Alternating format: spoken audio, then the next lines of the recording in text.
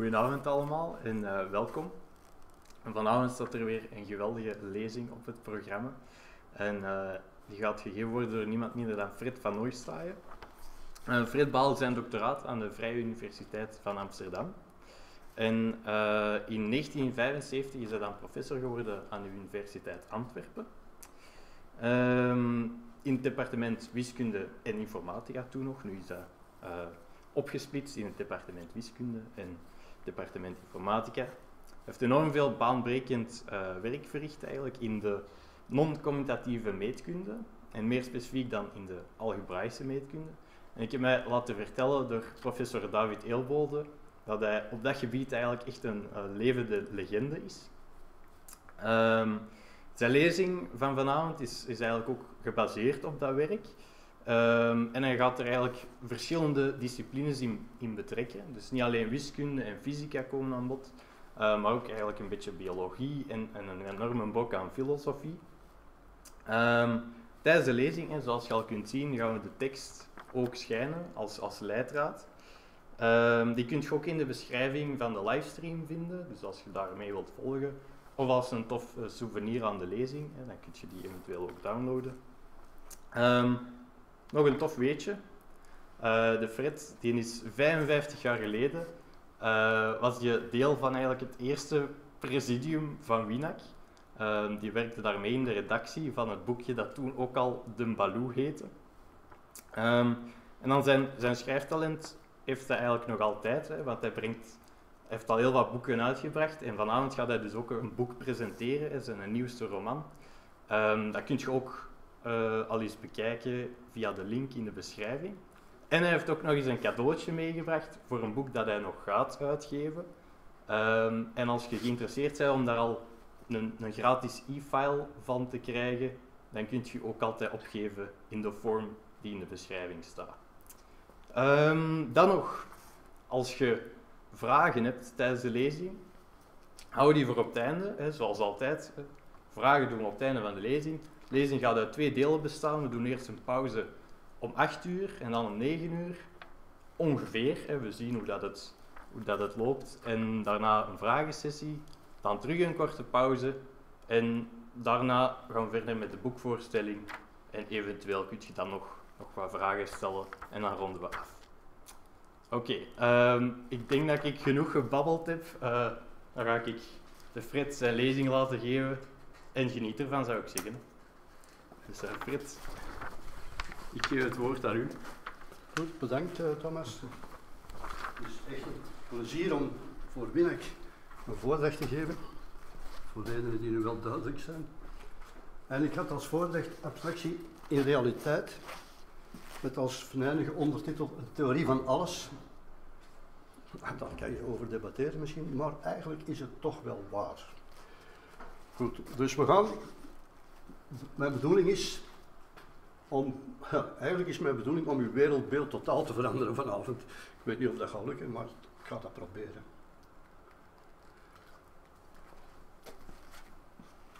Het gaat vooral over de realiteit gaan, over bestaan en over waarnemen. Uiteraard zijn dat de dingen die fysica nou erg bestudeert, maar ook filosofie bijvoorbeeld natuurlijk. De realiteit daar ga ik een hele uitleg over doen. En daar gaat een groot stuk van die realiteit gaat niet bestaan. Niet bestaan. Wat een beetje vreemd is misschien. Maar er is een bestaande realiteit en die kan er misschien ook waargenomen worden. Misschien ook niet altijd. En het is misschien ook niet zeker dat wat we waarnemen bestaat. Dat wordt allemaal besproken. De vragen die we ons dan stellen is, wat is in de realiteit, wat bestaat en wat nemen we waar? Dat is een duidelijke vraag. Wat, wat staat daar eigenlijk? Dan hebben we in de realiteit gaan we dat bekijken vanuit momenten. Dan moet ik ook de tijd definiëren, dat ga ik doen. Dan is er dan bestaande dingen die gaan bestaan in een interval. Een interval is de ruimte tussen twee tijdsmomenten, een tijdsinterval. En observatie of waarneming gaat gebeuren in een waarnemingsinterval en dat gaat het algemeen groter tussen aanhalingstekens, want dat moet ik ook definiëren, dan het bestaansinterval zijn de karakteristieke eigenschappen van die tijd en van de werkelijkheid, de bestaande en de waargenomen realiteit, zijn de ordening in de realiteit, het tijdsverloop in de bestaande en de tijdsduur die je waarneemt in de waargenomen. Goed. Dus ik ga eerst even zeggen, vreemd misschien, maar ik ga beginnen met het laatste. Wat nemen we eigenlijk waar? Want dat is het, het laatste, maar misschien ook het duidelijkste, omdat we dat elke dag doen. Waarnemen is een proces in een tijdsduur, waarvan we aannemen dat je niet meer een klok kunt meten of zoiets. En eigenlijk verandert alles. Dat is een uitspraak van Heraclitus, Heraclitus of Heraclitus, ik ben er niet zo zeker van, maar ah, 402 voor Christus. Goed, een proces met een tijdsduur, dat is dus een proces van interacties die we waarnemen met onze zintuigen. We hebben er eigenlijk zes, meestal zeggen we vijf. Maar ik voeg daar een zesde zintuig aan toe, dat is de interface tussen ons geheugen en ons brein. Dat is een zintuig dat intern werkt en dat hebben ze vergeten op te geven als zintuig. Maar daar zal ik misschien straks nog een paar woorden over zeggen. Dat begon natuurlijk met het ervaren van dingen, zoals een thermometer die de temperatuur opneemt. Die denkt daar niet over na, die neemt die waar. Ik zou dus soms het woord observeren willen gebruiken voor waarnemen met nadenken erbij, analyse erbij. Maar het is een beetje dubbelzinnig, want mensen denk ik dat observeren en waarnemen gewoonlijk als hetzelfde bekijken, maar ik zou dat liefst scheiden. Maar goed. Goed. Um, waar komt dat vandaan? Ik moet dat eerst even, dat is een klein beetje biologie bij gebruiken misschien. Denk aan een zwarte roker op de bodem van de oceaan. Een zwarte roker, dat is dus natuurlijk niet iemand eh, van een bepaald ras met een sigaar. Dat is de uitlaat van een vulkaan. En daar zitten allerlei chemische stoffen in. De ene keer wat meer van dit, de andere keer wat meer van dat. Dat varieert heel erg. En dat zien we ook nog tegenwoordig, dat gebeurt nog altijd. En dat, rond die zwarte roker zijn er dus een, een heleboel dingen die beginnen te, niet leven, maar te beginnen te bestaan. Uh, een soort, ja, ik noem dat snot eigenlijk, soort visqueuze massa, die soms wel een membraan ontwikkelt, gelijk een olieachtig ding. Uh, daar zijn allerlei ingrediënten die erin zitten. En door dat membraan is er een verschil tussen binnen en buiten. Natuurlijk, die snot heeft geen brein, dat zou merkwaardig zijn.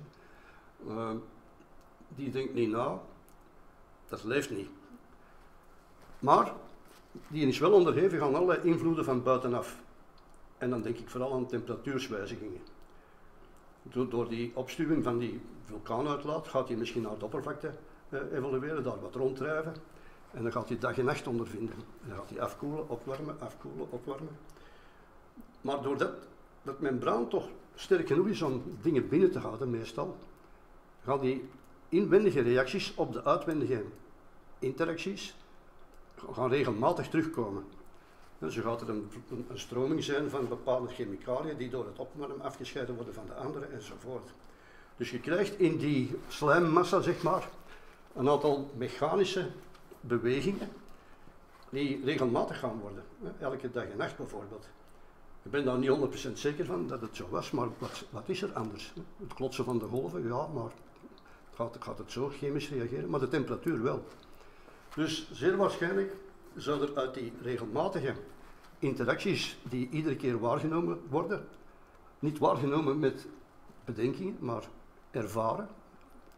Dat is een chemische reactie of een mechanische reactie, dus het neemt het eigenlijk wel waar, zonder dat het erover nadenkt. Goed, dus die, uh, op een zeker moment is er iets, en dat kan niemand verklaren denk ik, dat die slijmerige massa die fenomenen, die regelmatige interacties herkent.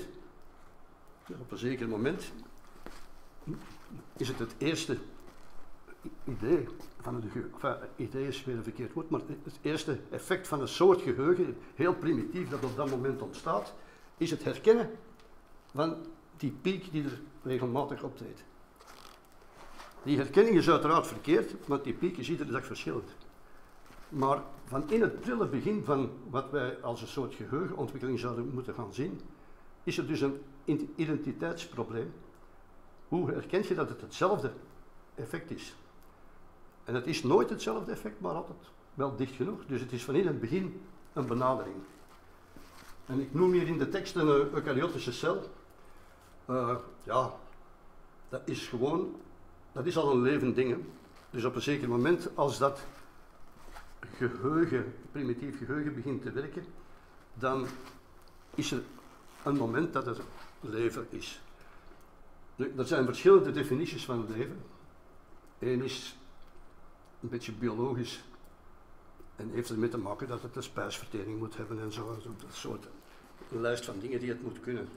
Ik zal straks een andere definitie geven die het overdekt en misschien een klein beetje algemener is.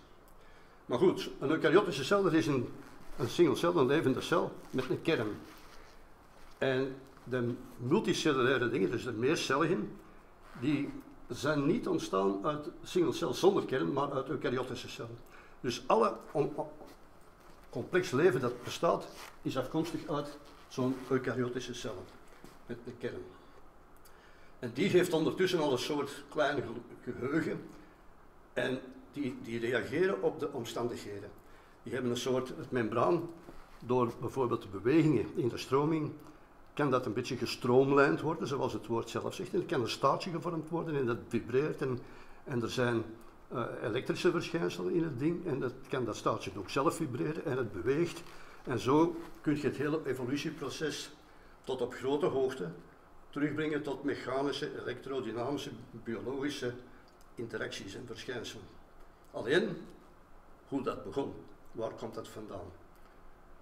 Daar ga ik straks een antwoord op geven, of toch een gedeeltelijk antwoord, dat de zaak een beetje verplaatst. Maar dat is de, het enige dat we niet echt zo gezegd wetenschappelijk kunnen verklaren, is het ontstaan van het leven. Waar komt dat vandaan? Oeps, het gaat hier een beetje snel, denk ik. Ja. Dus door dat geheugen, hij erkent, heel primitief, door een of andere wrijving van die interne beweging die door uitwendige interacties veroorzaakt wordt, erkent hij een bepaalde uitwendige interactie. En dat is door de regelmatigheid.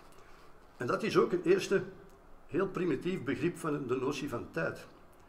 Je gaat dingen herkennen die verschillend zijn en die toch op hetzelfde zijn, zou je denken, of die op elkaar genoeg lijken. Dus dat is een werking, die, het is een proces. Die ontwikkeling van die slijm tot een levende cel is ook een proces. Alles verloopt in de tijd zoals wij dat denken. Daar kom ik ook op terug. En dus de eerste notie van tijd is dus de tijd als een stap in een proces een stap naar een andere stap. Al dat ertussen ligt, weet je niet en daar heb je geen tijd voor. Maar dus dat is een procestijd. En ik zal straks argumenteren dat onze, al onze dingen van tijd die wij nu tijd noemen, procestijden zijn. Maar wat is er aan de hand dus? Ik zie een zekere regelmaat. Ik kan dat met die pointer eigenlijk doen. Maar ik heb ook vingers. Dus die regelmaat, daar is voor nodig dat je twee dingen herkent, dus voor en na herkent. Dat is ook die eerste tijdserkenning. Dus na die regelmaat krijg ik voor en na, dus tijd, orde, voor en na geeft mij de orde. En dan staat hier causaliteit, de oorzakelijkheid. Je denkt dat het ene uit het andere volgt, dus dat is een oorzaak en gevolg. Maar daar gaat straks een groot vraagteken bij geplaatst worden. En dat geeft dus een leerproces, en daar ga ik straks ook meer over zeggen. Er is een analoog proces, dit is meer langs buiten gezien, die zit meer langs binnen. Dus ik heb regelmaat, geeft mij dus iets van geheugen, een identiteitsherkenning, eigenschappen, want die identiteitsherkenning gaat je doen door eigenschappen te ontwikkelen. Dat zijn inventieve dingen. Bij ons, wij denken abstract eigenschappen en we delen die toe aan een object. Of dat er nu toe behoort of niet, dat trekken wij ons niet aan. We beslissen gewoon, die bal is rond. Oké, wat is rond, dat weten we niet. Weer een definitie abstract enzovoort. Goed.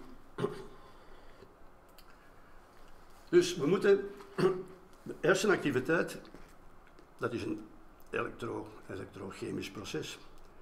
We moeten dat coderen. Dat is, dat is iets dat geen betekenis heeft. Wij weten niet wat onze hersenen juist doen om een bepaald idee te maken, maar we kennen die idee achteraf wel.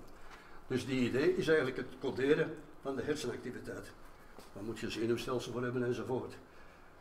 Codering, die zetten we dan verder door die ideeën, die we dan wel kunnen begrijpen, als we er een betekenis aan geven. Dus we moeten hersenactiviteit coderen en een betekenis geven. En dat doen we, dat is dus abstract. En daar gebruiken we symbolen voor, klanken of woorden.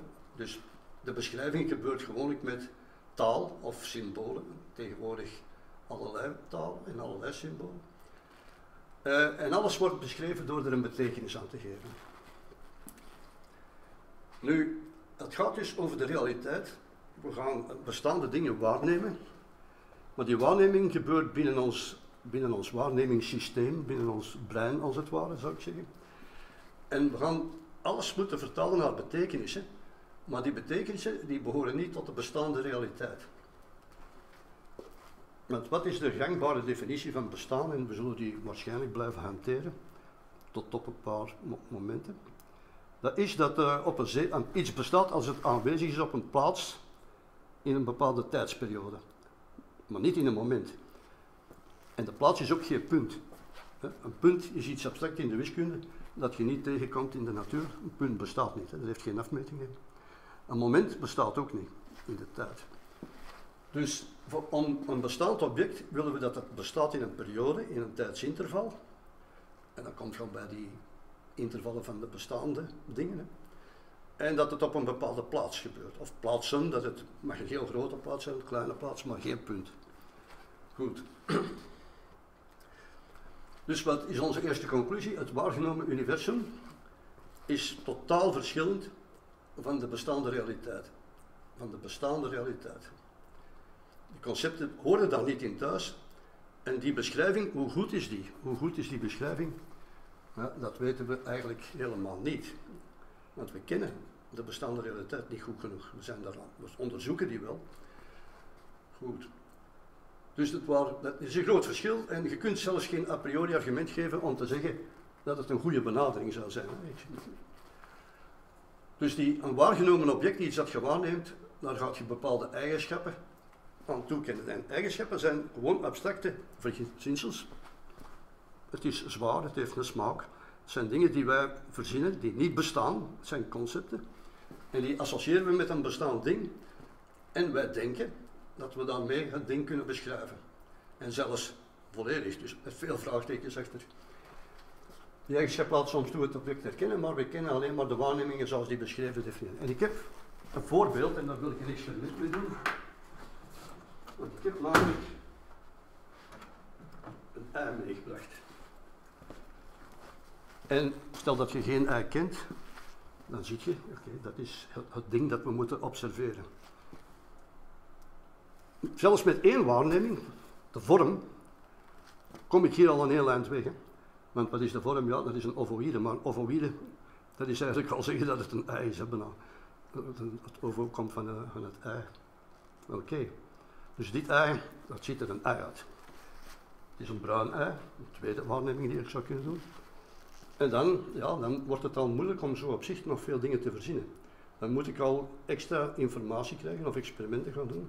En ik zou mij kunnen afvragen, kan ik nu weten dat dit ei hard gekookt of, of niet, of rauw is? Zonder het kapot te doen, want ik heb dat ei zelfs nog nodig. Dus als ik dan een beetje fysica ken, dan weet ik dat ik dat ei kan laten draaien. En als dat lang genoeg draait, wow, dat is hard gekookt denk ik. Ja, ik heb geen rauw ei meegebracht, omdat de kans was dat mijn koffer dan tot een pannenkoek zou geleid zijn. Dus maar je kunt dat niet vergelijken, maar je kunt me geloven, een, een rauw ei draait veel minder lang. Maar ik kan nog, dus nu weet ik, oké, het is een hardgekookt ei. Maar is dat zo? Dan moet ik een ander experiment doen. En bijvoorbeeld. Dus, met een beetje moeite, kan ik u verzekeren, dit is geen ei. dus, ik heb een aantal waarnemingen gedaan en ik heb daar besluiten getrokken die totaal verkeerd zijn. Het is een botsbal. Dus dit ei, dat is natuurlijk maar een ei, maar straks doe ik dat met elektronen. En dat is meer interessant misschien. Dus dat was een bewijs uit het ongeruimde dat we buiten de waarnemingen zullen moeten treden. En vandaar dat mijn onbestaande realiteit straks gaat optreden. Ehm, goed. We kunnen natuurlijk wel eigenschappen verzinnen en alles definiëren en door communicatie tot een gezamenlijke conclusie komen die aanvaard wordt. De bestaande werkelijkheid te begrijpen moeten we buiten het waargenomen beeld treden. Dat heb ik juist bewezen met mijn ei niet genoeg te observeren. En dat is het essentiële probleem van Plato's grot. Plato's grot is bekend, denk ik, ik kan het misschien even rap zeggen. Het is, mensen zitten aan een vuur met hun rug naar het vuur en zien op de muur schaduwen van hetgeen achter hen, tussen hen en het vuur gebeurt. Hoe kunnen zij aan die schaduwen weten wat er echt is? Zij zien de schaduwen en denken dat dat de werkelijkheid is. Dat is een echt probleem en dat kunnen we niet makkelijk oplossen. Want onze waarnemingen, vijf of zes, dat zijn er maar eindig veel. En waarom zou in de realiteit een ding volledig beschreven kunnen worden door een paar waarnemingen? En dan nog echt eindig veel waarnemingen in de tijd gezien. Zelfs als we dat een heel lange tijd willen doen, dan hebben we twee problemen. Het ding verandert. En het zijn er toch altijd maar eindig veel waarnemingen. Terwijl er heel oneindig veel, enfin niet oneindig veel, maar heel veel biljoenen parameters zouden kunnen zijn. Goed, nu gaan we over het nieuwe model spreken. En inderdaad, dat nieuwe model dat komt inderdaad een beetje uit mijn werk over niet-competitieve meetkunde. Maar de niet-competitieve meetkunde is, is niet essentieel voor de meeste paradigmaveranderingen die we gaan tegenkomen. Ik wil een, generiek model. De fysica heeft natuurlijk verschillende modellen. Klassieke, realiteit, relativiteitstheorie, kwantumtheorie, dat zijn dingen die ook niet helemaal met elkaar overeenkomen voorlopig. Men zoekt naar de unifying theory. Dus de unifying theory, die, de, algemene theorie of, of theorie van alles, ja, die zou generieker moeten zijn, maar die zou die twee dingen moeten kunnen bevatten of als specialisatie. Wat ik bedoel met specialisatie is dat het door extra assumpties, extra aanname te doen, uit het andere volgt. Dus ik wil dat mijn model generiek is en als ik wat meer wil aannemen, moeten die theorie daaruit kunnen volgen. Dat is het generiek aspect. In de fysica hebben ze één groot, zelden expliciet geformuleerd axioma. En dat is dat alle fysische grootheden gemeten kunnen worden door de reële getallen op het kiezen van een, een schaal, op het kiezen van een grootheidnaam bijvoorbeeld meter of centimeter of whatever, uh, seconde. Altijd kiest je zoiets en dan ineens beweert je dat je een fenomeen kunt meten door het hele getal maal die, maal die eenheid. Dat is dus een axioma dat de fysici gewoon aannemen. Ze hebben daar geen enkel bewijs voor, zelfs geen evidentie en zelfs niks plausibel. Het is gewoon omdat het goed werkt. Waarom werkt het goed? Omdat de reële getallen volledig zijn. De wiskundigen weten dat. Als je convergente rij neemt van reële getallen, dat convergeert altijd naar een reëel getal. Dus bij het maken van benaderingen zit je goed, het komt altijd dichter en dichter, dus je neemt aan dat er een limiet bestaat en dat dat een reëel getal is. En dat is zo. Dus voor de toepassingen in fysica zijn de reële getallen, ook de complexe, maar dat is een tweedimensionale uitbreiding, uh, enorm geschikt. Um, maar je ziet, als je er even verder over nadenkt, Laat ons de temperatuur meten ja, met de reële getallen. Wat is er dan beneden de min 273? Niks. En is dat, gaat dat oneindig of gaat dat tot boven een biljoen graden? Of, ik denk dat dat ook niet kan. Er is waarschijnlijk dus een eindig interval waar je de temperatuur kunt meten. En dat, dus dat, eigenlijk zijn dat geen reële getallen. wat men doet is gewoon, men maakt een schaal met een eenheid te kiezen en die schaal in de praktijk gaat dat niet verder dan de rationale getallen. Want onze computers die kunnen geen reële getallen uitprinten. Je kunt wel, je kunt wel uh, pi schrijven en zeggen dat is de verhouding van dit tot dat, maar je kunt dat nooit uitschrijven. Dat, dat is een, oneindige ontwikkeling met decimalen. Goed, dus daar is geen bewijs voor, heb ik gezegd. De reële getallen zijn wel goed, omdat ze volledig zijn. En ze kunnen dus benaderingen geven die we kunnen gebruiken in praktijk. En dan kom ik tot mijn model van, van de universum, van de realiteit. En ik heb dat hier ook op het bord nagemaakt. Nagemaakt, ook gezet. Omdat, omdat ik deze slide ga wegdoen, want ik ga de tekst volgen. Dan kun je die ook volgen. Ehm, dus ik ga hem even wegdoen. En we beginnen met de tijd. Ik zal nu hier. De tijd heb ik hier aangezet als een soort vlak. Dat expres gedaan, geen lijn genomen. De tijd, wat gaat dat voor mij zijn? Dat is een verzameling met een partiële orde die totaal is. Dat wil zeggen dat voor elke twee verschillende één groter is dan de andere of andersom. We mogen ook onderstellen dat die tijd een oneindige verzameling is, want als je maar een eindig aantal momenten gebruikt, oké, okay, des te beter. Dus een element van de tijd is een moment wat niet bestaat. En er zijn intervallen, tijdsintervallen, die je kunt binnen die tijd nemen. Dus ik ga nu zeggen, zelfs over die staten op de momenten, of momenten gaan op de staten van het universum definiëren. Maar ik wil eerst iets zeggen over het zogenaamde meten van de tijd. De tijd is dus de totale ordening van het universum. Hier gaat het universum staan straks. Dit is de parametrisatie, als je wilt, van het universum. Oké. Maar, als je van meten spreekt, dan gaan we naar de fysica kijken en die zeggen, tijd is wat een klok meet. En dan zeggen ze achteraf, een klok is wat de tijd meet. En dan is het een, mooie cirkel. En dan weten we nog niet veel natuurlijk. Maar een klok meet niet de tijd. Wat, wat doet een klok? Een klok die meet een regelmatige periodieke beweging, bijvoorbeeld de rotatie van de aarde rond zijn as, aarde rond de zon, de maan rond de aarde, de vibratie van een kristallijn ding, uh, trilling van atomen, wat weet ik, atoom, atoomklokken. Maar die meten allemaal iets concreet, materieel, dat beweegt en dat een regelmaat heeft. Ik heb dus een regelmaat ergens voor die orde. Dus de orde van de tijd is essentieel. Die heb ik in mijn constructie genomen, totaal geordend. Twee dingen, dan weet je altijd welk eerst is het, of ze vallen samen. Tuurlijk kun je dat niet meten, die orde. Een interval, die kun je niet vergelijken. Als ik twee intervallen neem, T1, T, T, 1 en T2, T3 bijvoorbeeld. Dus dit is zo'n interval, dat is een ander. Die kun je niet vergelijken. Want die hebben geen lengte. Ik heb geen vectorruimtestructuur, ik heb geen reële getallen erop gezet. Ik wil een generieke theorie. De fysici die het voordat van mij waren geïnteresseerd dat ik hier twee dimensies had genomen, omdat dat mogelijk is. En dat zijn dus inderdaad fysische theorieën tegenwoordig die al gebruiken de tijd twee dimensies. Maar twee is een willekeurig getal voor mij. Waarom zou het twee zijn en niet 26? Maar goed, twee intervallen zijn niet te vergelijken.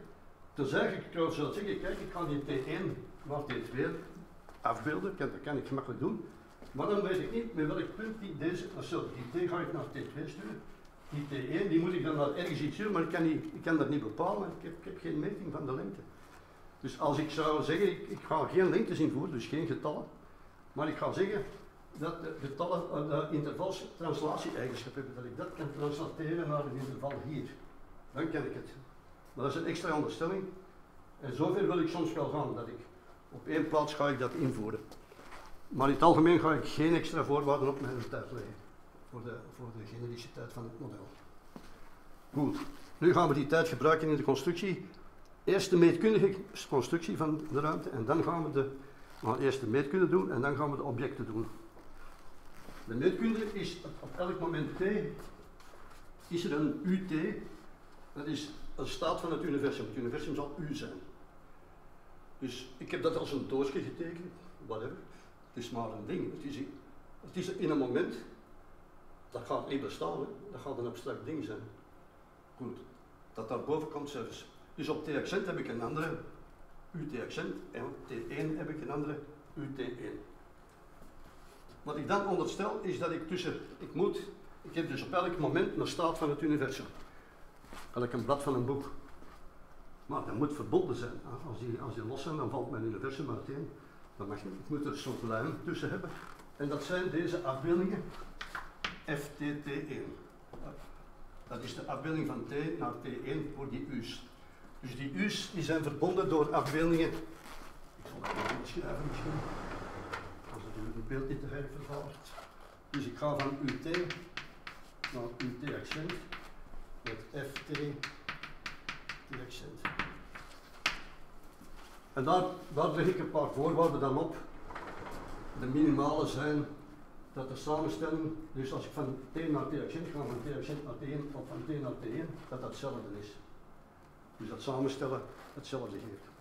En dat de FTT is de identiteit. Als ik op mijn moment blijf staan, doe ik niks. Ik heb daar een boek over gepubliceerd. Virtuele topologie en functor geometry. Ja, virtual topology en functor geometry. Die virtuele topologie en functor geometry. Vita Fusion, wat Latijns is voor het leven vloeit. En dat is net wat ik wou weergeven, dat alles vloeit. Dus ik heb die titel speciaal zo gekozen, denk ik, maar het is wel de juiste titel. Goed. Oké, dus meetkundig heb ik dan al een interpretatie van een dynamische ruimte. Dus ik heb een dynamisch ding dat in de tijd, het universum beweegt in de tijd, bestaat in elk moment, is alleen maar gerelateerd met een andere staat door die afbeeldingen die meetkundig zijn op het ogenblik. Uh, F. Oké. Ik kan misschien de bladzijde een beetje verder zetten. Ik heb in dat boek hier een meetkunde opgezet. Dat is een abstracte ruimte, waarin voorlopig nog niks is. Ik ga daar zelfs dingen in brengen, maar nu nog niet. En ik kan dan een meetkunde opzetten zoals ik dat zelf wil. Maar voor de genericiteit van mijn theorie moet ik die zo minimaal mogelijk houden. En dan bijvoorbeeld zal het een niet-commentatieve meetkunde zijn. En ik denk altijd is voor dit verhaal niet essentieel, dus ik ga er dus niet over verder over uit. Je mag gerust denken dat Euclides is zelfs, krijgt nog altijd dezelfde veralgemene paradigma. Maar het zal een niet-commentatieve zijn in de werkelijkheid, of in een andere model van de werkelijkheid dat ik wil voorstellen. Dus in feite is het zelfs zo, ik zeg meetkunde, maar ik, ik heb genoeg aan een niet-kwantitatieve topologie, wat eigenlijk een veralgemeende lattice is. Dus, in, in de sectie en een unie, maar in doorsnede is dat niet echt, maar goed. Um, dus ik kan hier structuren opzetten waar ik niet op inga en die in dat boek beschreven zijn. Wat ik wel wil doen is nu, nu heb ik dus een meetkundige constructie gemaakt van een dynamisch meetkundig model voor de ruimte. Waar je de meetkunde van die momenten nog mocht kiezen. Whatever dat het is. Nu ga ik daar dingen over moeten definiëren. Wat wij in de fysica gewoonlijk zien, is dat de mensen doen alsof de dingen in de ruimte zitten. Want de ruimte is abstract. Want als je nu Einstein's relativiteitstheorie neemt, dan zijn dat manifolds. In kwantumtheorie is dat, uh, een, een, zijn dat eigenlijk geen manifolds meer, wordt dat al een beetje meer chaotisch. Maar het is nog altijd een, een, een meetkundige ruimte en men rekent. Men heeft coördinaten punten moeten coördinaten nemen om te rekenen, vergelijkingen, differentiaalvergelijkingen enzovoort.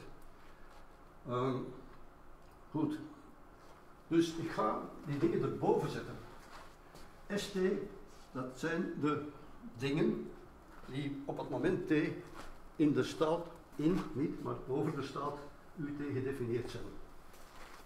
Uh, dat, dat zijn geen dingen, dat ik noem dat pre-dingen.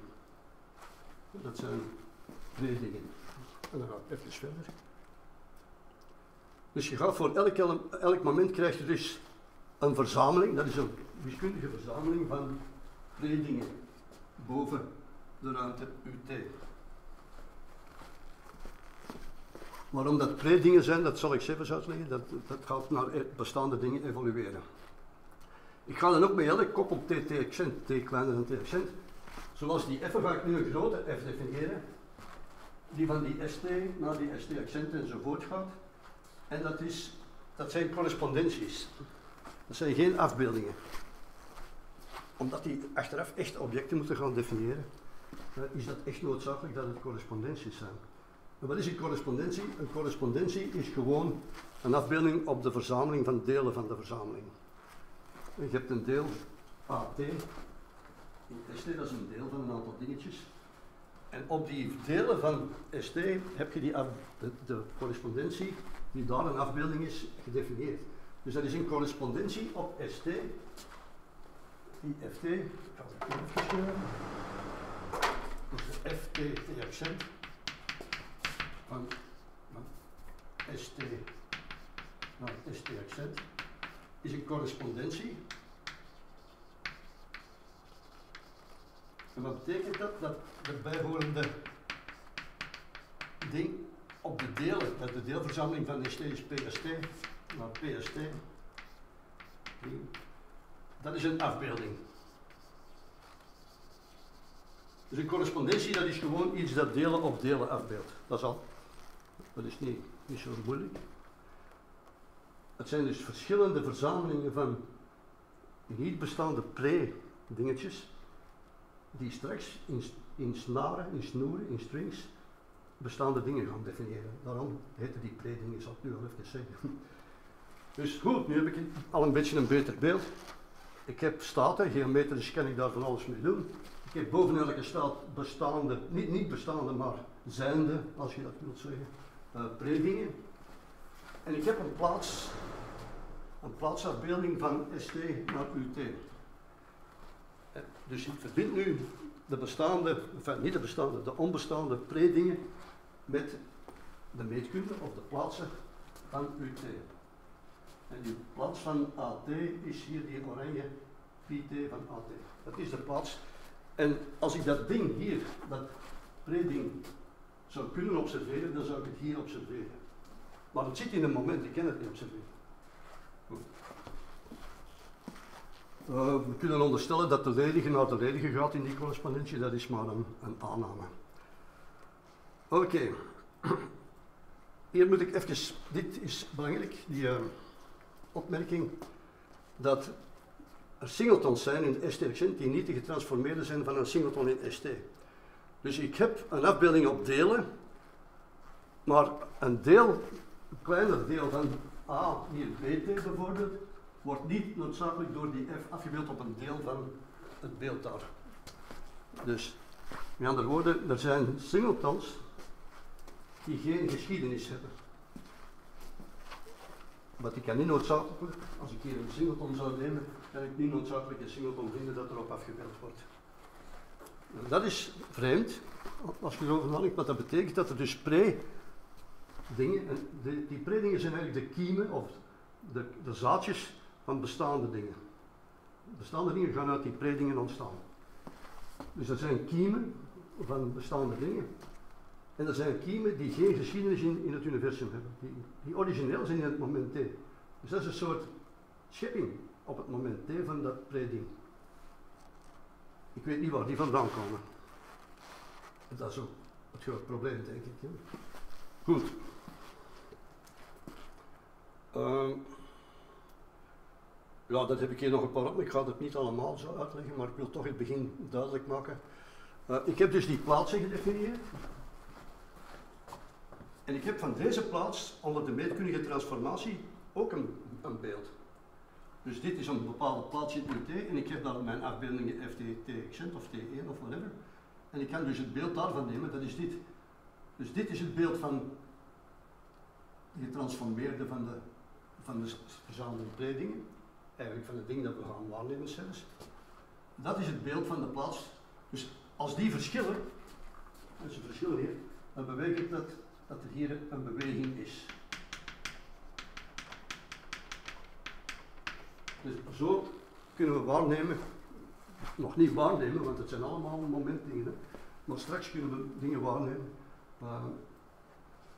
Dat is het een beweging, die beweging is dus zelfs gedefinieerd op het onbestaande niveau tussen bepaalde kleine intervalletjes, waar niks bestaat, maar waar alles predingen zijn. Dat is dus eigenlijk al een interessante nieuwe idee voor de bewegingen, voor wat wij als change. De tijd gaat de, gaat de verandering definiëren, maar, maar op een intervalmanier. Oké. Ehm, op het moment bestaat er niets. We gaan nu zeggen, meneer, wat is een bestaand ding? Een bestaand ding, dat gaat een snaar zijn. Een snaar, dat zijn zo van die, dit, zo'n deel, A, D. En dan ga ik volgen voor de, voor de correspondenties F. Het beeld A voor de correspondentie, AT accent, AT1 enzovoort. Dus er is een snaar gedefinieerd. Ik zou dus een dikke een dikke lijn moeten trekken, maar dan gaat het bord te veel bevuilen. Je hebt dus een soort saucis dat door die drie delen gaat. En op elk moment heb je daar dan een, een AT dubbel. Oké? Dus die saucis in een bepaald interval, dat kan een bestaand ding kunnen zijn. Dus ik ga mijn definitie van bestaan nu geven. Een ding bestaat als het in een bepaald interval dat ermee geassocieerd is. Dus het ding dat gaat bestaan ga ik bijvoorbeeld A noemen. Het object A. Het kan een interactie zijn, het kan een event zijn, het kan een object zijn. Kijk, dikwijls ding. Een ding A bestaat als het in een bepaald interval, dat ik het bestaansinterval noem, zo'n saucis, dus zo'n string, een aaneenkoppeling van via die transities binnen het universum, die bestaan. Niet alle delen doen dat. Welke delen, welke delen hier zullen aanleiding geven tot een bestaand ding, dat weten we a priori niet. En dat kunnen we ook nooit waarnemen, dat is in een moment. Maar het idee is wel, twee dingen zijn de kiemen van bestaande dingen. Bestaande dingen emerge, komen uit kiemen door op een interval, een aangepast interval, je kunt een minimaal interval, ik ga niet alle details doen, er is geen dubbelzinnigheid als je, je kunt daar een minimaal interval, als je het, uh, het eindpunt vastlegt. En dan heb je dus bestaande dingen, die bestaan niet in elk moment van dat interval, niet op het einde van het interval, maar over dat interval. En dat is heel essentieel, dat is belangrijk. Bestaande dingen vormen een discreet. Dus als iets bestaat in het intervalletje, hier zo, hier bestaat het. Oké. Okay. Um, zal ik dat hier zo door een punt voorstellen, of door een bolletje. Daar bestaat. Dan kan het zijn dat dit verder gaat en dat het weer bestaat in een ander interval. Dan is dat bolletje accent. Dat is dan dit is een manifestatie. Ik bedoel dezelfde, dezelfde string, dezelfde snaar, kan op een zeker moment bestaan. En dan dat laatste eindpunt geeft weer een aantal bestaan. Dat zijn manifestaties van hetzelfde ding. Dus dat zijn dingen die wij zien veranderen. Als je ze gaat waarnemen. Maar daar komt nog wel een probleempje bij. Maar goed, voorlopig is het zo. Hier tussen, in dat interval bijvoorbeeld, als ik zo'n willekeurig tusseninterval neem, dan bestaat het niet. Dus die twee bestaande dingen zijn gescheiden door dingen waar het niet bestaat. Het bestaat niet in, in al die momenten, het bestaat niet op het eindmoment, het bestaat alleen over het interval.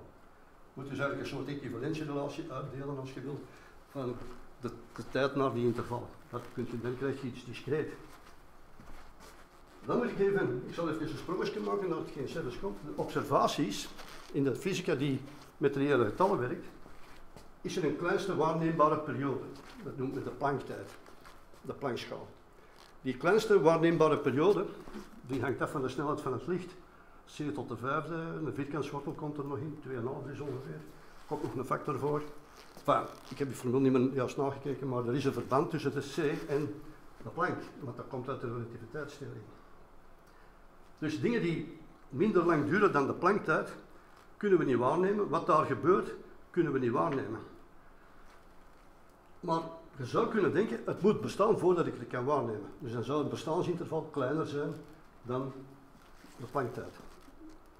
Of dan de waarneembare tijd. Dat kan voor een ander ding een beetje groter zijn. Maar de Plancktijd is het minimum waarneembaar ding. Dus de geobserveerde werkelijkheid, die was al discreet. Want dat is hetzelfde probleem. Maar met andere, niet met bestaansintervallen, maar met Plancktijd. Plancktijd. Ja, om met Engels door te komen. Plancktijdintervallen. Goed. En dan kan ik ineens even, wat ik ga toch een beetje tijd moeten winnen, ik ga een beetje vooruitlopen soms. Ik ga hier al even zeggen dat natuurlijk in zo'n model, pas op, dus ook het gewone fysica model is discreet. De waarnemingen die we doen zijn discreet. Het Planck-interval als kleinste. Natuurlijk in hun formules wat doen de fysici? En die doen van alles. Hè.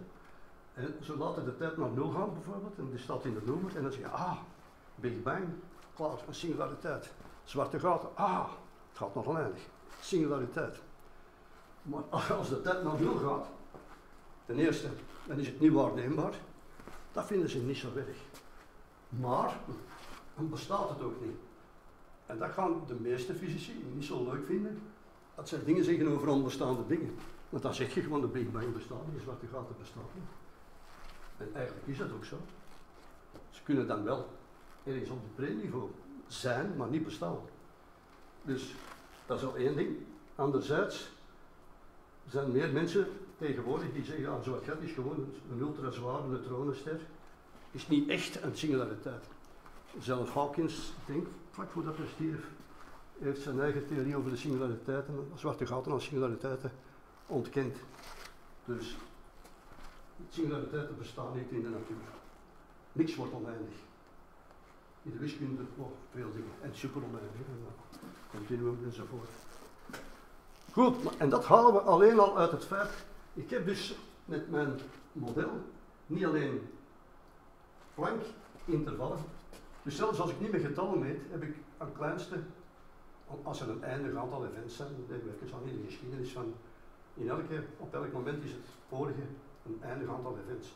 Dat betekent niet dat het hele universum eindig is, maar de geschiedenis is eindig. Ja, dan is er het kleinste uh, waarneembaar interval. Dat noem ik dan ook maar het Planck-interval, al is het geen getal. En dan is er ook een kleinste bestaansinterval. Dat is een nieuw ding. Dus die twee universums die ik daar beschreef, de werkelijkheid, ja, de werkelijkheid is gegeven door momenten en die, die interacties, die pre-interacties die ik ga definiëren, pre-dingen, die beschrijven het universum, de werkelijkheid, door strings. Ik weet niet of daar uh, een, een, een, model voor de stringtheorie uit te halen is, maar het is in elk geval, dat kan kloppen met stringtheorie. Die, um, goed, wat wou ik dan nu nog van zeggen? Oh, Oké, ja. Dus het, het discrete. Oh ja, die, die, uh, de werkelijkheid is dus momenten, had ik eronder geschreven. De bestaande zijn de bestaansintervallen. En de, de waarneembare, de waargenomen, zijn de waarnemingsintervallen interessant. De twee, de bestaande en de waargenomen realiteit, zijn discontinu zijn discreet. De werkelijkheid, niet noodzakelijk, want daar zijn het momenten die komen willekeurig dicht bij elkaar. Uh, ik heb daar geen extra structuur op gelegd, voorlopig. Qua, is gewoon een topologie dat ik daarop leg, of een meetkunde, maar niet iets met reële getallen. Maar dat mag als je dat wil, maar zelfs dan blijven sommige dingen gewoon nieuw. Oké, nu interactie en pre-interactie, dat gaat gemakkelijk nu kunnen dus voor elk twee dingen in ST, pre-interactie, die schrijf je dan I-interactie in T, AT, BT beschouwen. Dus dat zijn pre-dingen die een verband tussen AT en BT uitdrukken. Dat is interessant om te melden dat in die ST, dat is gewoon een verzameling dingen. Ik heb daar weinig structuur op gelegd voorlopig. Ik ga daar ook geen, uh, geen meetkunde opleggen. Ik heb gewoon een plaats van die dingen in de meetkunde gemaakt. Ik heb ondersteld dat er een plaats is waar ik ze kan bekijken, zo gezegd.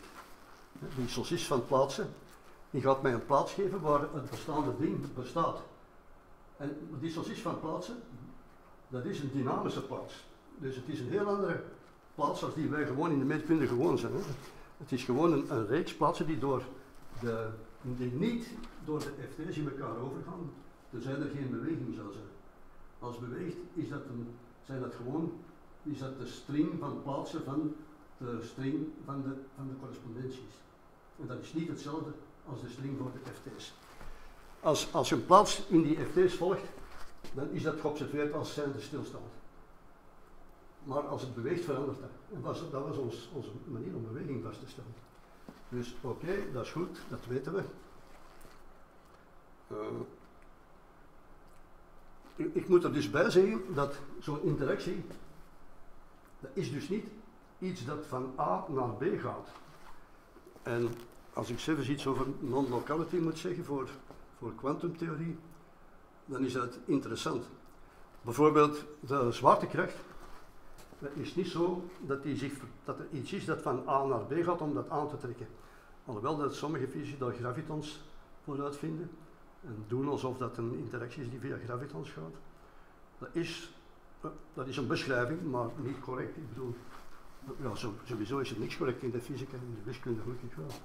Maar het is wel een goede beschrijving misschien, als het werkt. Als het goed benaderd en predictief kan zijn, tot op zekere hoogte, dan vinden we het al goed. Oké.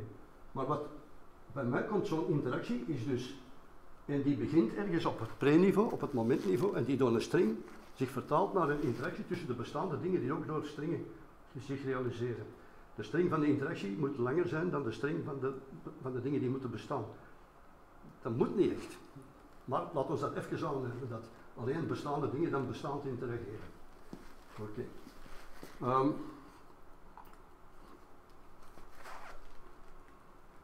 dus naar limieten kunnen we niet overgaan. Uh, dit ga ik even overslaan. Ik ga nu naar ja, met die, met die dynamische plaatsen kun je een topologie en een, of een meetkunde genereren op het universum. En dat heb ik in dat ene boek al uitgelegd. Alles meetkundig wat ik hier vertel, komt eigenlijk uit die Vita. Maar alles wat erboven ligt, is achteraf bijgevoegd om het heelal te vervolledigen, zo gezegd. Hier is iets interessants, dat, dat noem ik onbestaande invloed. Want dat is voor wat Severs causaliteit en organische causaliteit gaat geven. Dat is belangrijk, omdat het niet bestaat en toch invloed heeft. Dus als ik naar kijk naar een interactie die tussen A en B, bestaande dingen, zijn er dus pre-interacties voor elke t-accent in het bestaansinterval, die in, in de string van die interactie passen. Maar er zijn ook interacties tussen delen van AT-accent en BT-accent en ook van buiten die dingen, die niet noodzakelijk in een bestaande, in, tot een bestaande interactie leiden. Niet elk deel leidt tot een, tot een bestaand ding. Dus sommige. En ik zal daar één klein ding aan toevoegen om een, om, om een reden te hebben om te zeggen dat ze kunnen bestaan, maar ik kan niet echt zeggen welke delen dat er gaan bestaan of niet. Dat, dat kan ik in momenten niet doen, maar ik heb één, één plausibele aanname die ik zou kunnen vermelden, zelfs. Oké, al, die al die onbestaande pre-interacties noemen we beïnvloeders. Die onbestaande dingen zijn er wel, maar die realiseren zich niet tot bestaande interacties. Okay, maar ze zijn er wel en ze hebben dus wel een effect. Het feit dat die onbestaande effecten toch. Ja, dan moet ik even terug. Het feit dat die onbestaande effecten invloed kunnen hebben op het gedrag van A en B die bestaande dingen zijn, zal gevolgen hebben voor het begrip causaliteit, dat ik zelfs na de pauze ga invoeren. Observaties en waarnemingen, oké, daar kan ik nu kort over zijn. Een waarneming is een nieuwe interactie met een, met een bestaand ding.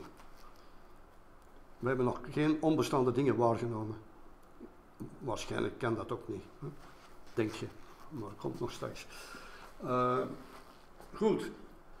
Als ik het, een waarneming doe, dan moet ik een interactie creëren met dat ding. Misschien moet ik er een lichtfoto op afsturen of zoiets. Ik moet er iets mee doen, ik moet ermee botsen, ik moet, ik moet het meten. Maar ten eerste, die interactie vergt meer tijd.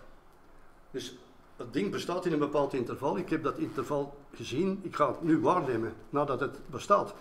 Maar dan ben ik voorbij het bestaansinterval, dan moet ik in het volgende interval kijken het bestaat. Een andere manifestatie.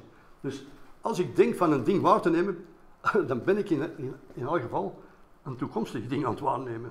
Dat, nog, dat verleden ding neem ik niet meer waar. Ik begin de waarneming op het moment dat het bestaat. Dat is na zijn bestaaninterval. Dan is dan het volgende bestaaninterval. Oké, goed. Als we dat weten is dat niet slecht, maar als je het niet weet, dan kun je fouten maken. Uh, Oké. Daar je slecht bestaande waarnemingen beschouwen, is het bestandsinterval van interactie groter dan intervallen. Ja, dat hebben we al gezegd. Uh, dat waarnemen is natuurlijk een grote ingreep. Je, doet iets met het ding en het vergt ten eerste meer tijd en er is een nieuwe interactie die je zelf toevoegt. Het ding dat dan gaat bestaan met die nieuwe interactie erbij is een ander ding dan hetgeen je waarneemt. Is dat een grote fout? Ja, dat is een grote fout, vind ik.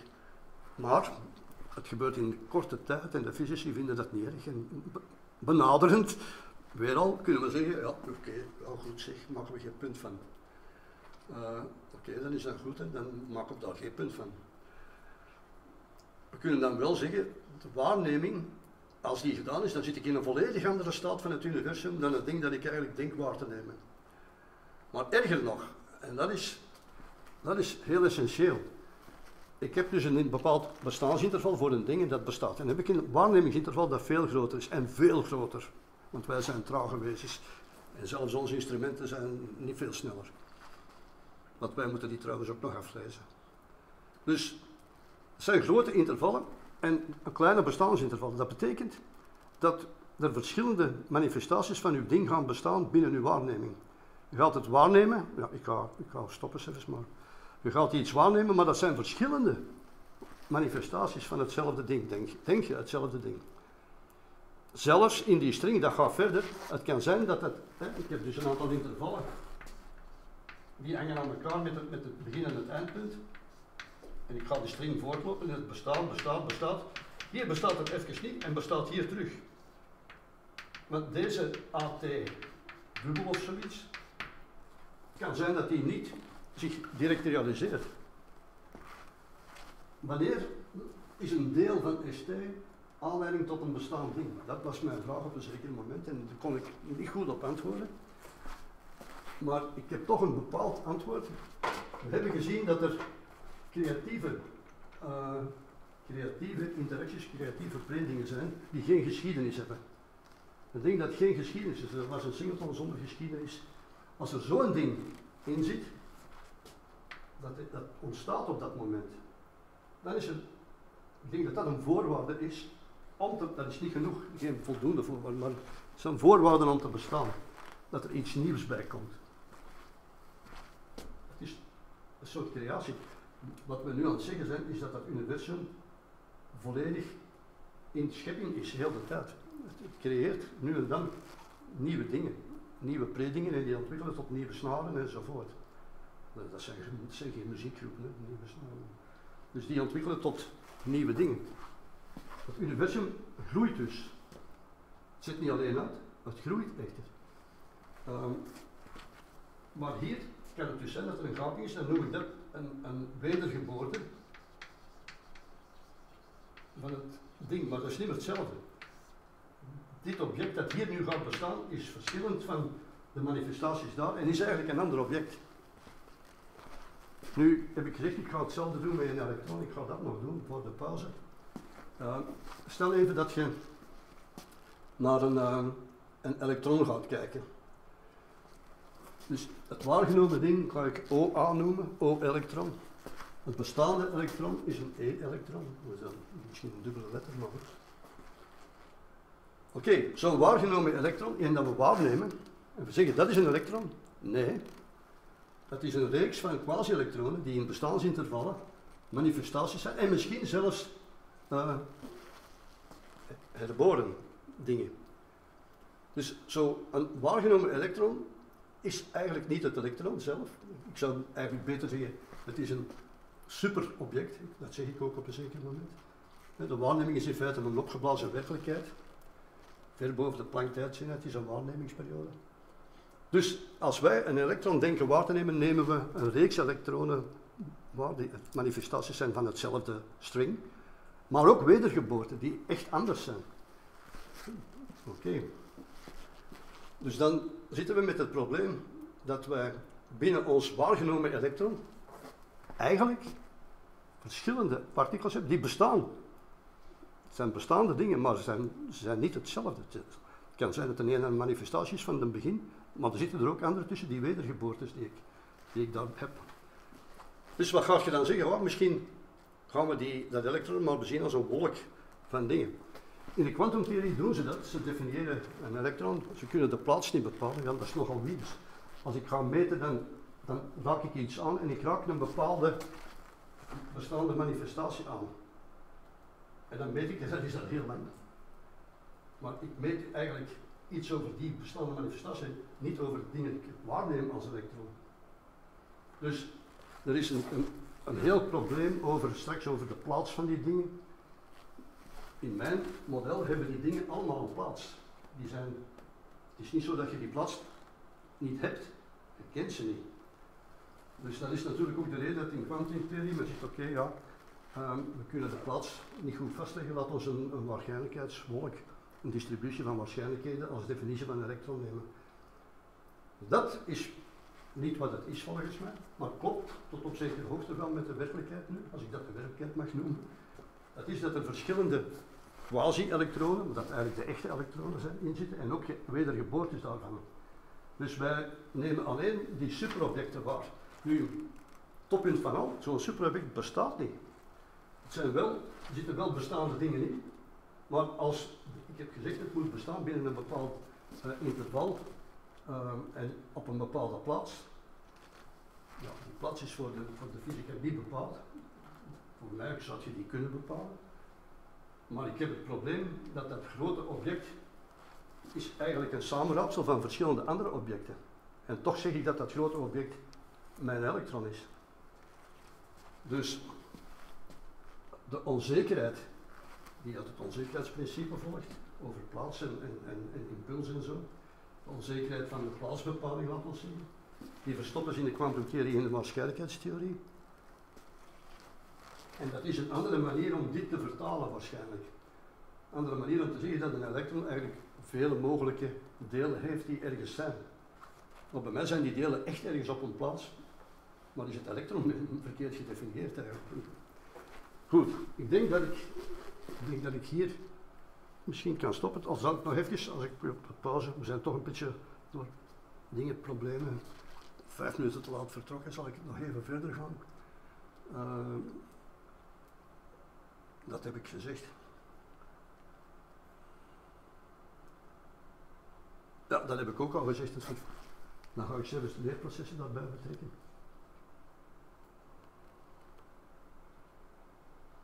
Nu ben ik even kwijt wat ik absoluut nog wil zeggen. Ah ja, kanstheorie. Ah, ja. Kanstheorie, dat is een wiskundige theorie die zegt dat je totaal een volledig toeval, volledig toeval dat dat bestaat.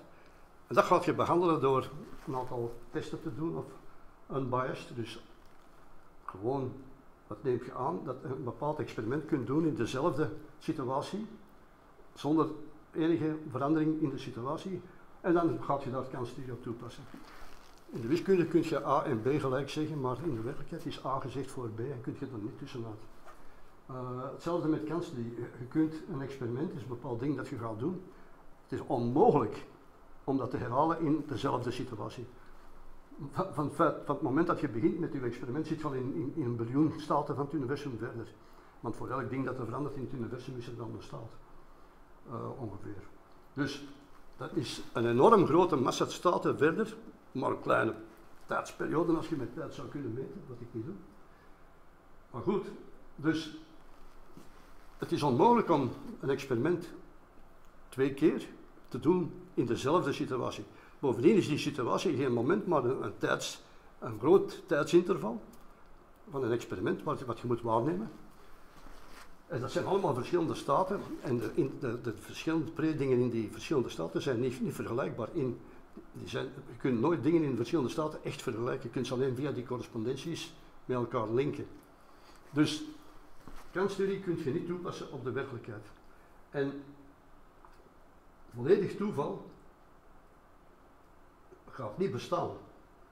Want ik ga altijd een soort oorzaak kunnen vinden, en dat ga ik straks zeggen, ik ga het nu even aanhalen, in een preding. Alles wat ergens bezig is, is op een zeker moment begonnen. In een moment met een preding. En dan met strings. Dus het is altijd een begin in preding. Dus je kunt altijd wel een soort oorzaak aangeven, maar die oorzaak is onbestaand in een moment. Niet in de werkelijkheid. Goed, ik kan wel een kanstheorie, als je dat wil, formuleren in dit formalisme. En dat wordt een heel andere theorie.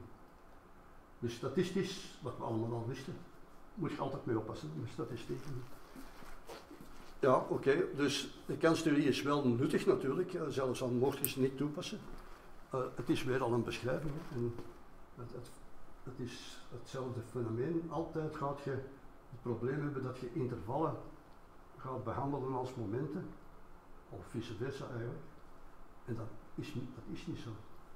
En ik zal nog een paar andere voorbeelden aanhalen straks. Dus je kunt al denken dat dat uh, enorme gevolgen zal hebben voor de zogenaamde causaliteit. Wat is de oorzaak van dat? Al die pre-interacties die er zijn, zijn, daar zit de oorzaak ergens in. Niet in die bestaande werkelijkheid. Dus daar kom ik na de pauze. Zullen nu vijf minuten was het? Ja, uh, zo tot kwart over acht. Uh... Ja, tot kwart over acht. Even pauze. Ja. ja, het is wel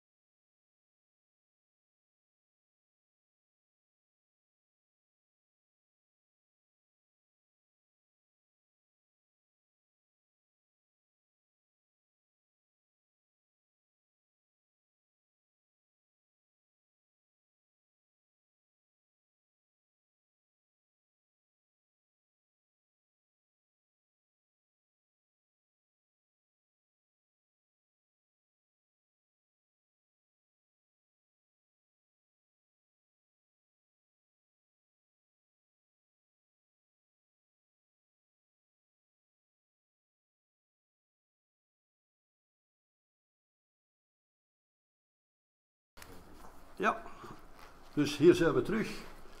En we gaan nu de voorlopige, een beetje wiskundig, fysische ondergrond even verlaten om naar iets helemaal anders te gaan op het eerste zicht. Leerprocessen en de microproces van een leerproces. Dat is iets dat ik in mijn cursus didactiek ooit heb ontworpen en dat hier merkwaardigerwijs van pas komt. Nu, dat is niet zo merkwaardig, want het is allemaal observeren waar we het over hebben, dus dat gaat natuurlijk een leerproces zijn. Oké, het leerproces is een chronologisch proces, dat loopt in de tijd. Dat zijn ingrediënten I, en ik ga soms naar dit bord lopen nu, en een relatie R. Meestal, die R is een partiële orderelatie. Als je niet weet wat dat is, dan denk je maar iets groter of gelijk aan. Bijvoorbeeld, causaliteit of een, logisch, een logische implicatie is ook goed. Causaliteit is heel goed. Dus we hebben een bepaald proces en de meeste processen zijn causale. We gaan de vervuiling van de rivier nagaan en we gaan kijken wat komt daarin, natrium en dit en dat en, uh, en, en vervuiling van een of andere firma. Dus dat is chronologisch, dat is uh, met een relatie die causaliteit die causaal is. Dit veroorzaakt dat, de temperatuur komt erin, dat verwarmt te veel. Dus het, het is een heel samenhang net van parameters die elkaar beïnvloeden. Maar er is een onzekerheid in, de, in het leren van zo'n, of in het begrijpen van zo'n proces, omdat de logische structuur van dat proces is niet de lineaire chronologische volgorde. Dus als jij een cursus studeert, dan leert je die in de tijd. En dan is dat geordend door de weg die jij volgt in de tijd. Nu, als ik een leerproces bekijk met ingrediënten I en een relatie R, dus A, B, C, D, G, F, E, dat zijn allemaal ingrediënten van, het studieobject. R is de relatie, dat duid ik aan door een pijl, dat doet men gewoonlijk. Een relatie is een deel van het product van de, van de verzameling, maar een relatie, je kunt dat wiskundig definiëren, je kunt dat ook intuïtief doen.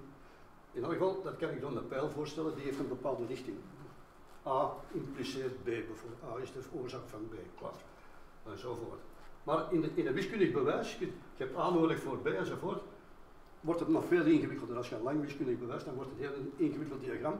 En dat geeft u de logische structuur van hetgeen je eigenlijk bekijkt. Dus dan is, dit is een soort Hasse-diagram, zoals ik dat noem, voor een partieel geordende ding. Dat is niet lineair geordend. Het is zelfs heel complex als je dat in, in, in reële toepassingen doet. Dat model dat ik gemaakt heb is toegepast in een studie van veiligheid van petroleumraffinaderijen. Dus het is een ingewikkelde structuur. En als ik die ga leren, dan loop ik daardoor van A naar B en dan kan ik dat volgen naar D. Nou, dan gaat het niet meer voort. Waar ga ik dan? Oké, okay, van E naar B, B naar C, C naar G. Ah, en dan moet ik nog E naar F. Ik moet dus keuzes maken van bepaalde stukken in welke volgorde ik die ga doen. En die keuzes hangen niet af van de structuur, de logische structuur van het ding.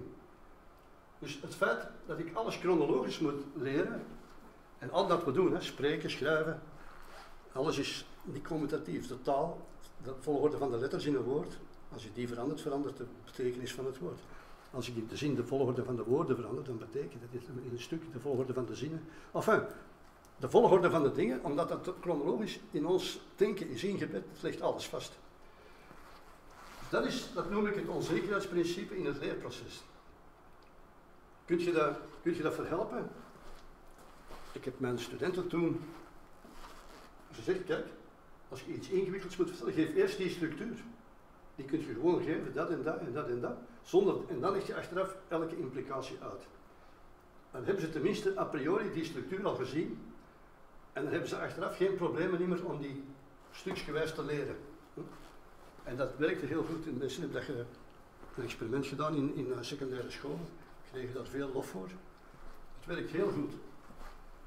Er een andere methode en dat is, kijk, ik wil dit begrijpen. En ik ga hier nog eens op drukken. Begrijpen is iets heel anders dan kennen. Kennen is nogal passief. Je hebt het opgenomen en je denkt dat je het begrijpt, maar je zegt dat je kent. Studenten ondervinden dan op het examen dat ze het niet begrepen en ook niet kenden, maar, of soms wel kenden, maar niet begrepen. Goed, hoe doen we dat? We gaan die dingen, dat zijn ook observaties, hè. Dat, zijn, ofwel, dat kunnen stellingen zijn, dat kunnen metingen zijn van de vervuiling van de rivier of van, van uh, allerlei toestanden in een van de raffinaderijen. Uh, dat kunnen abstracte of concrete dingen zijn. In elk geval, dat zijn dingen waar je waarneemt, ofwel abstract ofwel reëel waarneemt. Goed. Ik ga die beschrijven. Die lijkt mijn ei. Ik had daar de vorm en de kleur en het had gekookt zijn of niet misschien bedacht, maar het bleek verkeerd te zijn. Dus het is belangrijk om bepaalde ingrediënten beter te beschrijven. Wat gaan we dan doen? We gaan een, een ingrediënt A gaan we opsplitsen in aspecten. A1, A2, kleine A'tjes. Dus ik ga bijvoorbeeld bij een appel, ga ik zijn, uh, zijn zuurtegraad, ik ga daar metingen op doen. Ik ga, ik ga experimenten en nieuwe waarnemingen doen en die ga ik als nieuwe beschrijvingen. Dat is een volledige vrijheid van keuze a priori. Als ik een appel beschrijf met allerlei dingen, of ik zet gewoon de genetische structuur erop, dat zijn twee verschillende dingen met misschien vergelijkbare resultaten. Als het allemaal goed was met ik daar gekozen Dus dat is geen a priori garantie dat je het fantastisch goed gedaan hebt, maar in elk geval zal het beter zijn dan daarvoor, want je hebt meer diepere waarnemingen, zogezegd diepere waarnemingen gedaan. Goed, ik heb dus voor, boven A heb ik een aantal aspecten, ik heb boven B aspecten, ik heb overal aspecten. Nu, die relatie, die kan ik hier gaan bekijken tussen de kleinere aspecten. En die aspecten hebben ook relaties, kleine r. Maar ik heb hier in het oranje heb ik ook pijlen. Hier gaat de pijl van A naar B, de relatie van A naar B. Hier gaat het in alle richtingen. Zijn er van, ik wil alleen niet dat van A1 naar BI en van BI naar dat het van dezelfde gaat. Dat wil ik niet. En binnen deze heb ik ook geen relaties, dat zijn alleen reflecties, alleen zichzelf. Dus dat is de definitie van een aspectrelatie. Goed. Dus deze pijlen, dus als ik nu hier causaliteit zou genomen hebben, oorzakelijkheid, dan zijn die pijlen in de richting van de oorzakelijkheid, fantastisch, dat is dezelfde richting, dat is goed. Maar hier zijn pijlen in het anticausaal, bijvoorbeeld. Nu, in, bijvoorbeeld in de wiskunde, in een wiskundebewijs, komt dat ook voor. En waar komen die anti-dingen vandaan? Eigenlijk, als het niet volgens de realiteit van de causaliteit is die ik hier gevolgd heb, ja, dan is dat fantasie of creativiteit. Dus fantasie en creativiteit gaan hier gebruikt worden, maar niet hier. Dus als jij het studeert, dan gebruik je je fantasie Dan gebruik je gewoon deze geheugen, proberen te begrijpen. En probeert die grote structuur te begrijpen uit de stukken die je lineair gekozen hebt. Maar je niet die, die fantasie om beter te begrijpen. Dus dat is essentieel. Dat noem ik een, een deformatie of een microsysteem, microproces. Micro, omdat het, ik zou beter zeggen verfijning. Je verfijnt uw ingrediënten in aspecten. Je kunt dat nog eens doen. Je kunt dat verder doen en blijven doen, een paar keer. Dan is dat een onderzoeksproces. En eigenlijk zou elk leerproces moeten overgaan in een, uh, in een onderzoeksproces. Maar goed, het is al goed bij de eerste stap zou ik zeggen. Dus het effect van dit proces is kennis. Het effect van dit proces is diepere kennis of begrip. Het effect kan dan beter en beter. Dus het studeren houdt niet op maar het, ene keer begrijpen. Je kunt nog verder gaan. En dan gaat je nieuwe dingen zoeken, onderzoeken enzovoort. Dus dat is. Uh, nu hebben we het over waarnemingen. En dit zijn dan diepere waarnemingen waarbij je meer parameters gaat betrekken, meer aspecten gaat betrekken. Dat is. Oké, de geliefde relatie R, zelfs als die dus een partiële orde is, voor de causaliteit, dan is die ook transitief. Als A RB en B C, dan is A RC. Dat is hier niet zo getekend. Maar als dat zo zou zijn, dan is hier ook de pijl. Maar dat is dan voor die kleine R niet meer waar. En dat gaat ook straks voor de causaliteit in de realiteit het geval zijn. Oké. Hier ben ik eigenlijk te, te ver gegaan, denk ik.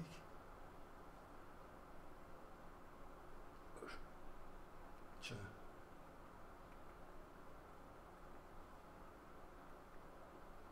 ik had verkeerd geduwd. Ja.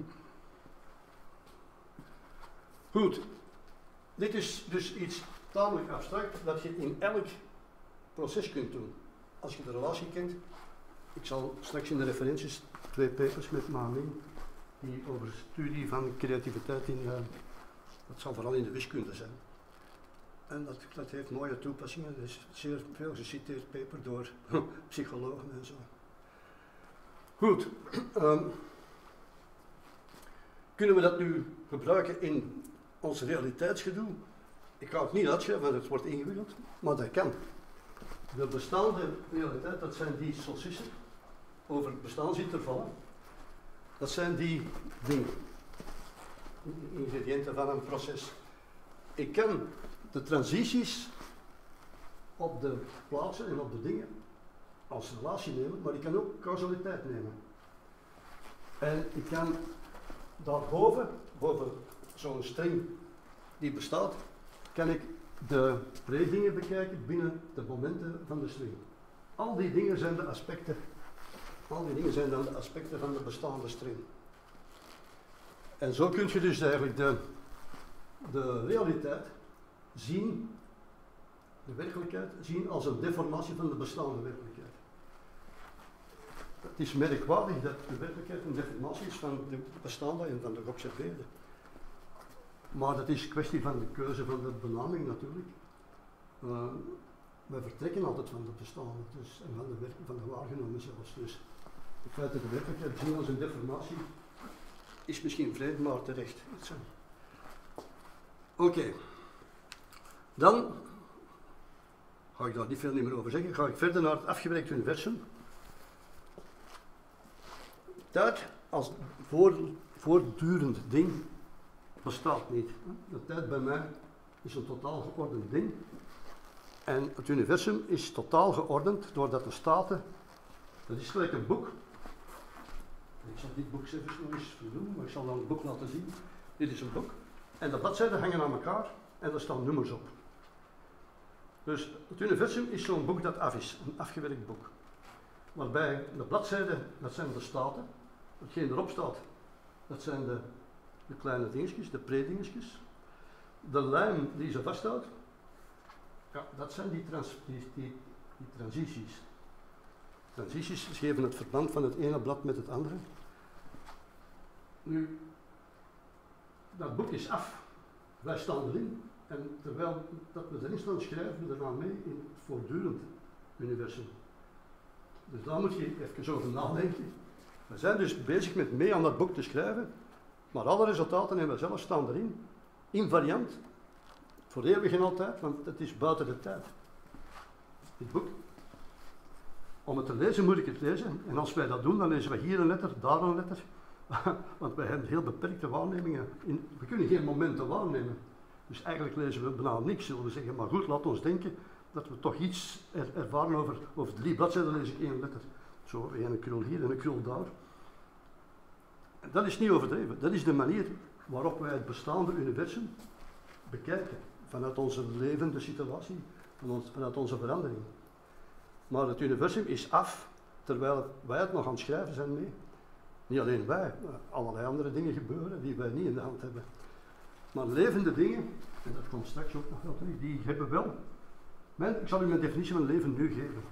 Uh, leven, ik heb die creatieve momenten, die creatieve pre-interacties, die heb ik genoemd. Dat zijn dingen die geen geschiedenis hebben in het universum. Die verschijnen op een moment. Een ding leeft als het zo'n dingen kan doen ontstaan. alle levende dingen doen dat. Want die, die doen een bepaalde interactie met de werkelijkheid als ze leven. Met objecten, die eten, wat doen die? Die doen van alles. Ik zal maar niet dieper op ingaan. Die doen veel. Al die levende dingen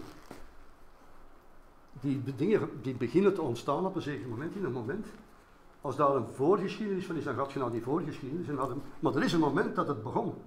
Mijn idee, als het een nieuw idee is, dan, een echt nieuw idee hangt niet veel af van de voorgaande ideeën, al zijn er bepaalde invloeden.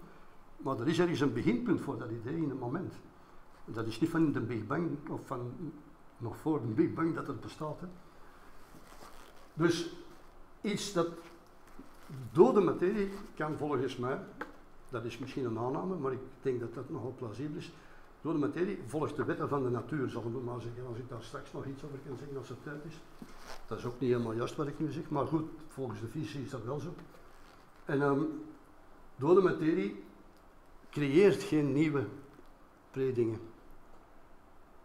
Die, die botsen als ze botsen, die, die, die vliegen als ze vliegen, die, ja, die volgen bepaalde wetmatige dingen die de fysici graag beschrijven. Leven de dingen voor een groot deel ook, maar ja, die eten daar die steen op of zo, van een steen of een plant of whatever. Die doen dingen, die smijten die steen omhoog en dan zeggen ze, kijk, hij valt terug. Dat, dat was niet voorzien door de natuur. Dat soort, dus dat is mijn definitie van leven. En dan moet ik er eerst bij zeggen dat volgens die definitie dus virussen, volgens die definitie leven virussen ook wel. Dat is bij de fysici, uh, bij de biologen nogal een verdeeldheid, alhoewel de meesten zouden zeggen dat ze niet leven. En die hebben een RNA gewoonlijk. Maar die hebben twee, minstens twee enzymen. En die hebben een naam. Het ene is penetra en het andere is integra. En penetra voor een virus, dat is nu toch populair, kan ik het even uitleggen. Die zet zich op een cel en die vraagt de toelating om binnen te mogen. En de cel laat die toe of niet. Sommige mensen laten dat niet toe en zijn ze zo gezegd immuun. Maar als je de ziekte krijgt, heb je ze wel binnen uitgenodigd. Dat is gelijk een vampier. Als je die uitnodigt, heb je het zitten. Hè. Dus dat is penetra. Dan is die binnen. Dan, ja, wat gaat hij dan doen, die virus? Die probeert zich te plaatsen in hun DNA. En dan heeft hij een ander enzym dat dat probeert te doen, dat heet integra. De keuze van het moment dat die dat doet, wie, wie maakt die keuze? Ik niet. De cel ook niet. Dus dan zou ik zeggen, ja, de virus. Maar dan is hem levend, hè, want dan introduceert hem een moment. Een beslissing nemen is, is een moment, gelijk je gedacht, alhoewel dat geen gedachte is, maar hij doet wel iets. En het begin van dat doen is ook een moment en is een origineel ding. Hij deed het daarvoor niet en nu ineens gaat hem wel zeggen van nou, ik ga je toch maar eens binnen. Dus ja, goed, het is misschien nog debatteerbaar, maar volgens mijn definitie denk ik dat virussen dus als levend moeten gezien worden. Als ik straks tijd heb, misschien niet, en ik kom nog aan de God of de ziel, dan uh, zou ik uh, zeggen, kijk, als je zegt dat er een soort God bestaat buiten de tijd, dan niet bestaat. Het bestaat niet, maar het bestaat niet, juist zoals die predingen. Maar hij zou bijvoorbeeld kunnen interageren met creatieve predingen in het systeem in te zetten. Dus te creëren als het ware. Dan kun je zeggen dat hij daar scheppend bezig is. Hij of zij of het, ik bedoel, dat wezen, het being, buiten de tijd, heeft geen enkele eigenschap van mensen. Hè. Dat is allemaal gewoon zuiver, transcendent of abstract als je wilt. Maar als je dat kan, dan leeft hij. Volgens mijn definitie van leven. Natuurlijk, dat is een uitgebreide definitie van leven, zou ik zeggen. Maar uh, goed, dat is een mogelijkheid voor mensen die willen geloven, is daar een mogelijkheid dan voor dingen, uh, ik zou nooit zeggen het bestaat, nee, maar het is, in het, het is niet in het afgebreid universum, het is daar buiten, zoals het concept. Dat is niet, niet zo sterk, onze concepten zitten ook niet in het universum. Die zitten in de abstracte wereld die wij creëren. Al onze betekenissen, die we kunnen bewaren op schijven en op filmen en op documenten, die overleven de tijd.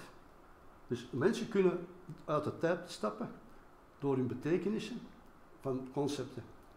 Die, die bestaan een tijdje, of misschien heel lang. Als die, eens dat die ergens neergeschreven staan, of op een steen geschreven, weet ik het. We kunnen nog altijd die tekeningen van de holbewoners zien. Dus die stappen uit de tijd met hun betekenissen en zitten in de tijd met hun, met hun doen, met hun leven. Dus daarom heb ik de, titel van het boek dat ze kunnen krijgen, is Time Hybrids, tijdshybriden, dus mensen.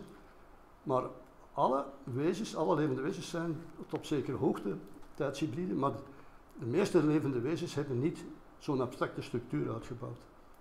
Bijvoorbeeld wiskunde, ja, geen ene olifant, die heeft wel een geheugen. Een chimpansee heeft heel goede patroonsherkenning, beter dan mensen, maar heeft nooit wiskunde uitgevonden, heeft nooit een gestald bedacht. Dus ik heb de indruk dat de, mens misschien wel de enige soort is die echt zo'n abstracte wereld heeft gecreëerd, waardoor hij eigenlijk echt dingen buiten de tijd plaatst en die dan gebruikt alsof het de werkelijkheid is. Onze abstracties gebruiken we om beslissingen te nemen voor dingen die we doen in de werkelijkheid. Dus of de dingen bestaan is, niet, is helemaal niet belangrijk. Als je ze bedacht hebt, gebruik je ze om beslissingen te nemen over concrete zaken. Je kunt een atoombom droppen of niet. Oké, dat heeft een invloed. Maar dat was maar gedacht, ja, nou, maar je doet het. Hè. Dus de werkelijkheid wordt beïnvloed door onbestaande dingen, heel de tijd, maar ook door onze concepten. Vandaar dus de titel van dat boek Time Habits. Dit boek, by the way, uh, is daar een broertje van, meer, meer uh, biologisch, filosofisch. En kunt je bij Amazon voor een heel redelijke prijs aanschaffen. Journey to the Source of Laughter. The Source of Laughter is abstract. En journey is de reis naar naartoe. Goed, als ik nu mijn pointer mag hebben, heb ik even een sprongetje gemaakt omdat ik denk dat ik niet aan die uh, abstracte filosofie ga toekomen. Um, goed, uitgewerkt universum buiten de tijd. Dus dat was mijn boek. Maar datgene wij meemaken en hetgeen het universum meemaakt binnen het bestaande universum, dat is een dynamisch ding, hebben we gezien. En dat groeit. Het groeit omdat in momenten er dingen bijkomen. In momenten komen er uh, pre-interacties en pre-dingen zonder geschiedenis bij. Dus het is voortdurend, wordt er gecreëerd. Dus je moet dan eigenlijk gaan zeggen, ja goed, uh, in de fysica zeggen ze, in een gesloten systeem uh, is er geen perpetuum mobile, er is een behoud van energie. Ja, maar afgesloten universum, het boek, is af en is gesloten. Maar het bestaand universum is groeiend. Uitdijend, maar ook groeiend. Uh, dus het is geen gesloten systeem. En dat is ook logisch eigenlijk, want het, het, het groeiend, het bestaand universum is een perpetuum mobile. Alles beweegt en blijft bewegen. Dus dat is eigenlijk een belangrijk bewijs van, oh ja kijk, het, natuurlijk is het perpetuum mobile het ding zelf. En dus is dat geen gesloten systeem. En dat is ook niet, want alles komt uit die momenten. Die, dat zijn dus geen bestaande dingen. Maar het, hele essentiële in de theorie is dus dat de niet bestaande dingen de bestaande creëren. Over een tijd.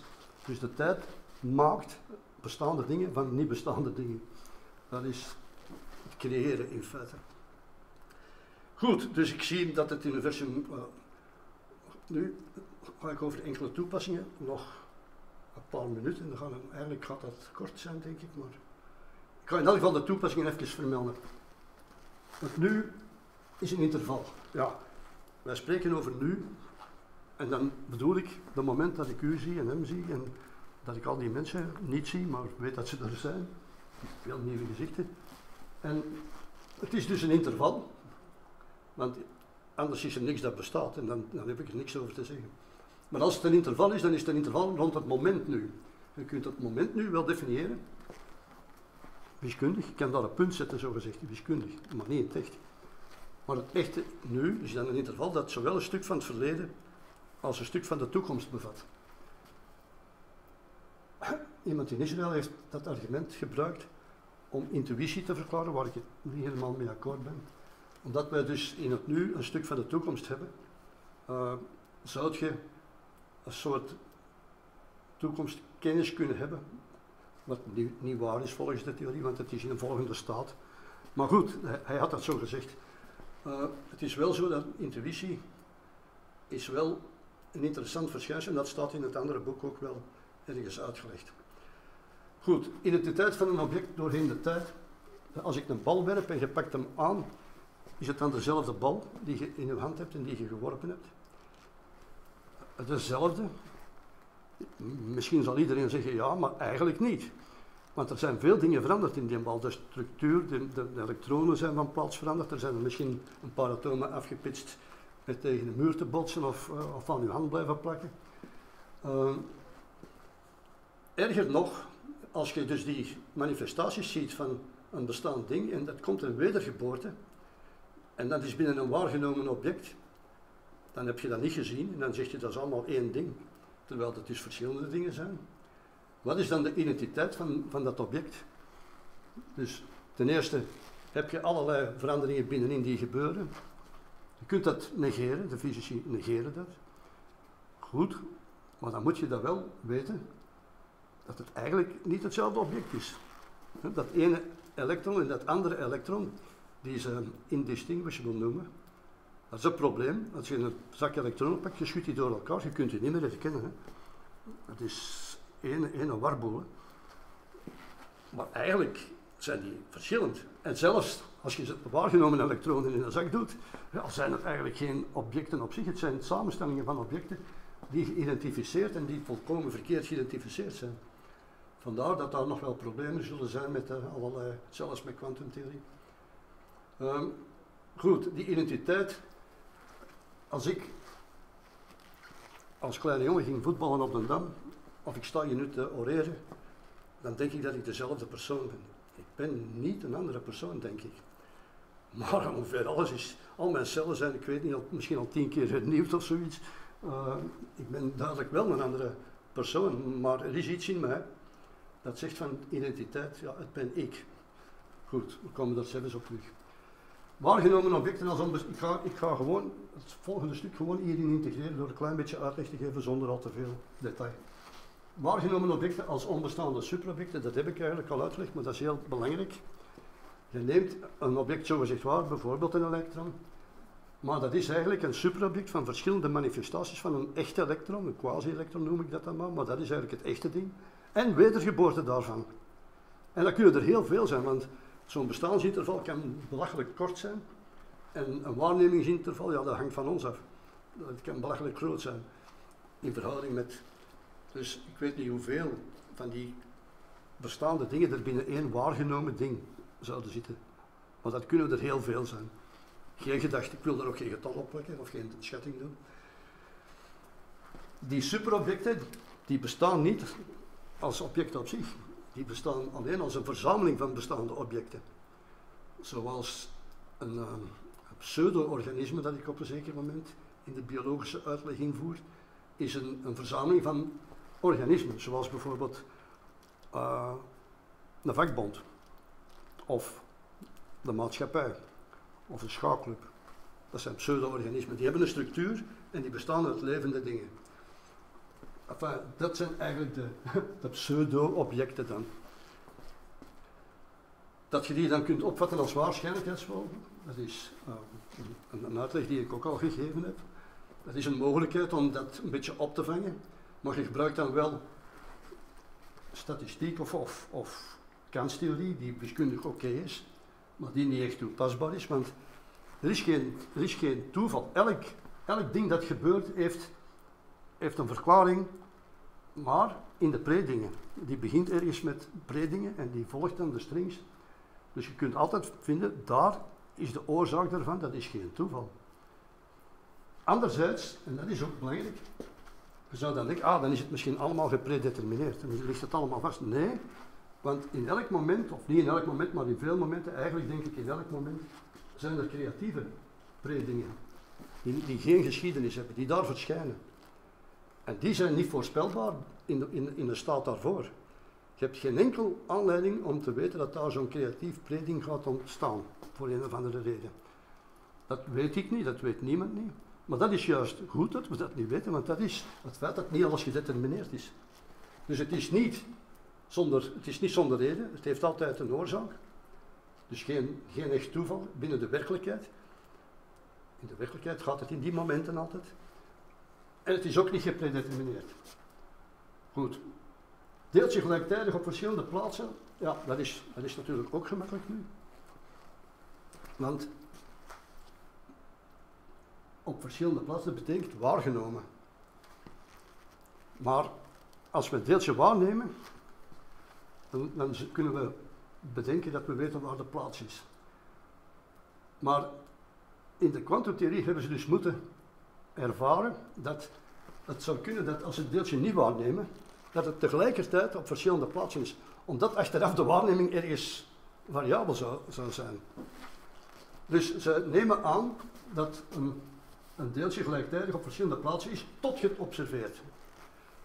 Maar goed, als je het deeltje niet observeert, dan is, het, dan is het ergens. Als je het observeert, dan observeert, observeert je niet het deeltje, dan observeert je een heleboel dingen.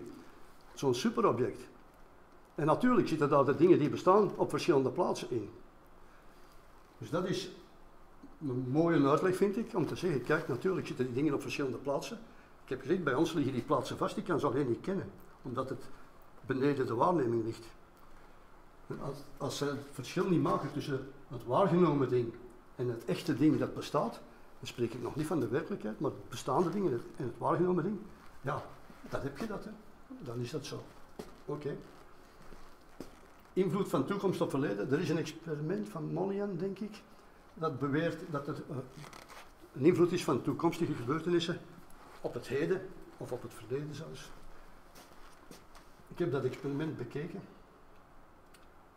Maar het is niet, het is niet zo. Trouwens, dat kan niet, want de toekomst is een andere staat van het universum en er is geen terugkoppeling. De, de, de, hoe zou ik zeggen, de de, het lijmen, de lijmende transities die de correspondenties zijn, die gaan altijd, de tijd is georiënteerd en gaat in één richting. Dat, daar kunnen we niet buiten. Het is een ordening. Dus het is niet mogelijk om terug te gaan in de tijd en de hele, hele staat te veranderen in de nieuwe. Dus tijdreizen bijvoorbeeld, moet niet denken dat je in een tijdmachine kunt stappen. En een nee, want de tijd is gewoon de ordening van de staten. Je kunt niet terug. Want dan zou je al die staat, heel die staat met de biljoenen tot de macht biljoenen interacties tussen onbestaande dingen, pre-interacties, zou je moeten kunnen veranderen naar die staat. En hoe zou je dat doen? Zelfs het universum zelf kan dat niet, want het is totaal geordend. Als daar een superwezen buiten zou zijn, dan weten we weer niks natuurlijk, maar dat is, is oké. Niet de discussie op het ogenblik. Dus tijdreizen kan natuurlijk niet. Invloed van de toekomst ook niet, want je kunt niet echt die staat veranderen. Wat is dat dan in dat experiment, wat er dan gebeurt, is dat de interactie realiseert na het bestaan. Dus jij denkt dat de interactie, dus er zijn die, die, wat ik daar noemde, uh, ja, chaotische interacties eigenlijk, die, die dus bestaan tussen de tussen de, de strings op bepaalde momenten en die pas later realiseren.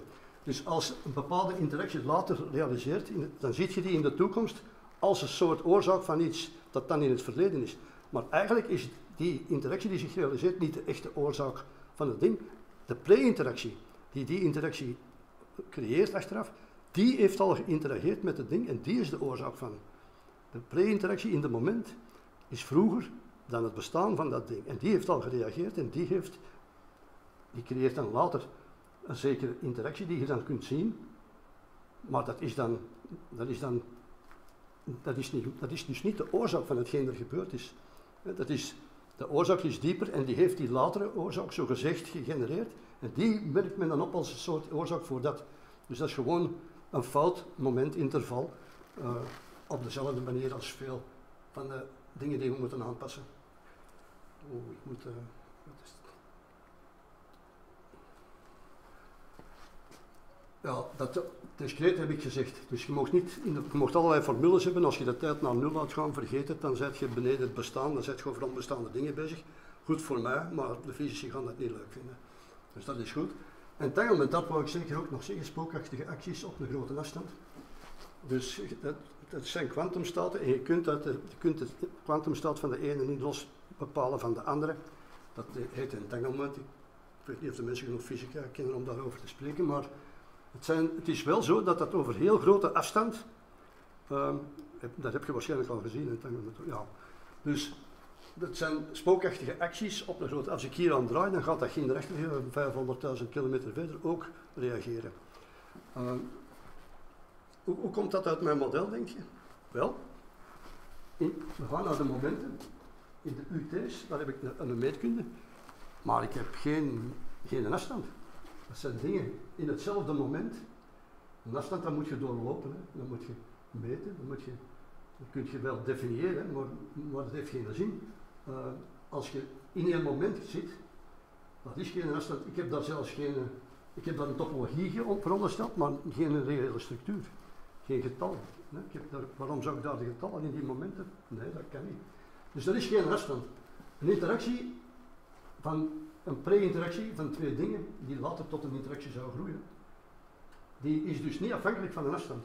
Een afstand heeft daar niks mee te maken. Die interactie loopt niet van A naar B. gewoon een verband tussen A en B op het moment, een momenteel verband. Nu, dat realiseert zich door zo'n string. En sommige van die interacties realiseren zich tot dingen die we waarnemen, waarneembare, echte interacties, bestaande, die afhangen van de afstand, en andere niet. Dus dat geeft uh, die entanglement. Uh, Non-locality wil ik ook nog even iets over zeggen. De, in kwantumtheorie is er nog altijd een discussie. Sommige mensen vinden dat het nog altijd niet bewezen is dat het niet lokaal is. Dus non-local. Maar bij mij is praktisch alles niet local. Ik bedoel, afhankelijkheid van afstand, in, zowel in tijd als in, in afstand, als je die zou hebben. Die hebben we zelfs niet in de, in de momentele dingen. Dus daar zijn die dingen gedefinieerd zonder afstand. Dat die zich realiseren tot iets met een afstand, ja, dat is dan hun keuze zou ik zeggen. Dat is een aard van de interactie, dat is een eigenschap van de interactie, het verband, die in de tijd ontwikkelt. Dus dat kan zowel naar de afstand toe gaan of de afstand niet herkennen. Uh, co-creatie, goed, dat heb ik gezegd. Uh, speciaal interesse, dat ga ik allemaal weglaten, vrees ik. Uh, toeval nog gedetermineerd heb ik al gezegd, tijdshybriden heb ik gezegd. Uh, dan ga ik toch heel even ziel even zeggen. Mag ik echt tot tien uur doen? Ah, tot uh, negen uur, sorry. ja? Dan ga ik daar nog even over de ziel, althans. Um, de mens, als die, eh, zoals ik daar straks al zei, als ik geboren word en als ik hier nu sta, dan ben ik denk ik dezelfde persoon. Maar hoe construeren wij onze, ons ego, onszelf? Dus dat heeft, volgens mij zijn wij allemaal drievuldigheden. Het eerste is het, biologisch wezen. Het biologisch wezen dat leeft en in de tijd, en soms, straks zal ik zeggen nog iets meer. Uh, het tweede is de observatie. We observeren als biologisch wezen, we hebben zintuigen, we zien dingen, contacteren ons geheugen daarvoor. We bouwen, we bouwen theorieën en weet ik wat. We bouwen ook die, die een observator van onszelf. We zien onszelf en we zeggen, tja, ben ik dat. Dat duurt een tijd dat je dat... Ik denk dat jonge baby's dat niet weten. Maar vanaf ja, de, drie jaar of zo weten ze het zeker wel. En vanaf vier jaar hebben ze een ego, schijnt. Give and take.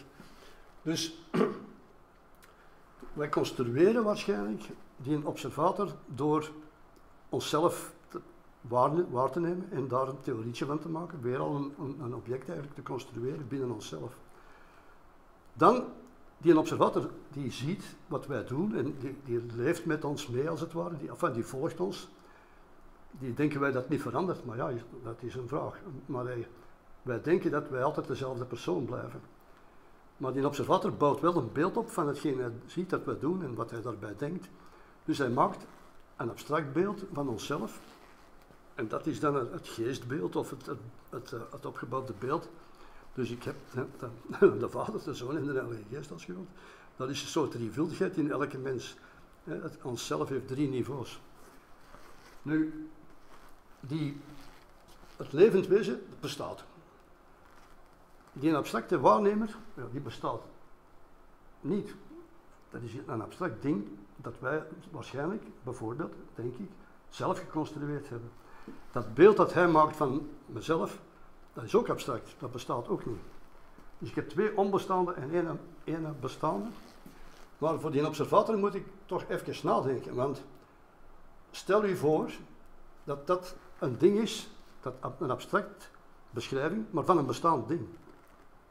Zoals mijn idee van een ei of van een appel. Dat is een abstracte beschrijving, maar van een bestaand ding. Dus sommige ideeën die we hebben corresponderen toch met een werkelijkheid die erachter zit. Andere zijn zuiver fantasie, uit het leerproces dan, en corresponderen niet meer met de werkelijkheid.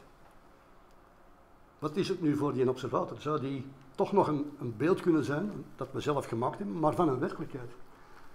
In het eerste geval, als, we, als het niet van een werkelijkheid komt, ja, dan kun je zeggen, dan is het gewoon een abstract ding dat uit de zelfconstructie, met contact met de maatschappij, nooit alleen, maar altijd in contact met anderen, is die gecreëerd.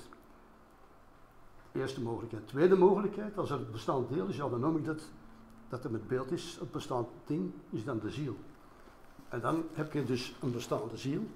Wel, niet bestaande ziel, nog niet, maar dan is er een werkelijkheid achter die observator. Kunt je dat verklaren? In het model moet je dan wel zeggen, kijk, die ziel kan dus best niet bestaan in, het in elk eindig interval na mijn geboorte. Maar wel in al de tijd. Dus ik, ik ben een, een soort sterrenstof, dat vliegt rond, dat doet van alles, volgens de wetten van de natuur. Dat wordt op een zeker moment ergens samengevoegd in een levend wezen. Die doet wat creatieve dingen, die schrijft wat boeken, die gaat terug, die gaat terug naar sterrenstof. Dus heel die constructie, dat zijn wij in het afgewerkt universum. Wij bestaan nu al als zo'n afgewerkt ding, maar we weten het allemaal nog niet. We zijn het aan het maken, maar we staan daar al in, buiten de tijd. Dus als ik dan zeg, ja kijk, die ziel, dat interval van nu tot oneindig, tot het einde der tijd, zou je kunnen zeggen. Of, dus ik zou zeggen, stel dat de tijd het interval 0 1 is, dus vanaf t tot 1, dat ding. Dus daar, als die ziel daar zou bestaan, dan zou je dus kunnen zeggen, dat ze bestaat niet in elk eindig interval, maar ze bestaat op oneindig. In de eeuwigheid van het bestaande universum. Dus dan zou ik de godsdienstige mensen kunnen zeggen van ja kijk, dat kunt je aannemen als je wilt. Dan is er een soort, maar dan moet je dus eerst al geloven dat er een werkelijkheid achter zit en dat die dan bestaat in een, in een groot interval. Wat kan volgens het model? Dus dat kan, ik niet, dat kan dus ook wetenschappelijk niet tegengesproken worden. En dan kun je direct hetzelfde zeggen voor een figuur. En wij, hebben, wij creëren zelf wezens, tussen aanhalingstekens, buiten de tijd door de concepten en de betekenissen. Dus als er dan nog een ander ding zou bestaan, dat kan. Zou dat dan kunnen interageren met die abstracte werkelijkheid? Dat kan. En dan kun je dus zeggen, oké, dus buiten de tijd. Dus ik zou zeggen, als er een discussie is over God, zeg God bestaat niet. Maar het zou kunnen dat die niet bestaand, maar buiten de tijd een abstract ding is dat met interactie, dat kan dus zelfs interageren met onze gedachten. Hè. Maar niet met, met een Bijbel, maar direct als een soort telecommunicatie. Dat zou je niet kunnen tegenspreken met het model. Dus zowel voor gelovigen als ongelovigen zit daar dan wel stof in tot, tot nadenken. En dat is altijd een kwestie van geloof. Dan heb ik een paar dingen moeten overslaan, maar ja goed, ze krijgen dat boek als ze willen. En daar staat het uh, meer detail allemaal in. Dus ik hoop dat er toch stof tot nadenken heb gegeven. En dat ik de fysici niet te hard gechoqueerd heb. Oké, goed, bedankt allemaal. Een beetje misschien. ja, uh, dan, dan zullen we overgaan naar eventuele vragen die dat er zijn. Uh, Dus als er vragen zijn, dan mocht je die in de chat uittypen. En dan zal ik die voorlezen en uh, dan uh, we wachten wel even, want dat kan natuurlijk even duren eer dat je je vraag hebt getypt. Ehm, Anders moet je even al een seintje geven dat je een vraag hebt. Dat we weten dat we moeten wachten. Ja, ik heb natuurlijk niet de details kunnen uitleggen, maar ik hoop grote lijnen.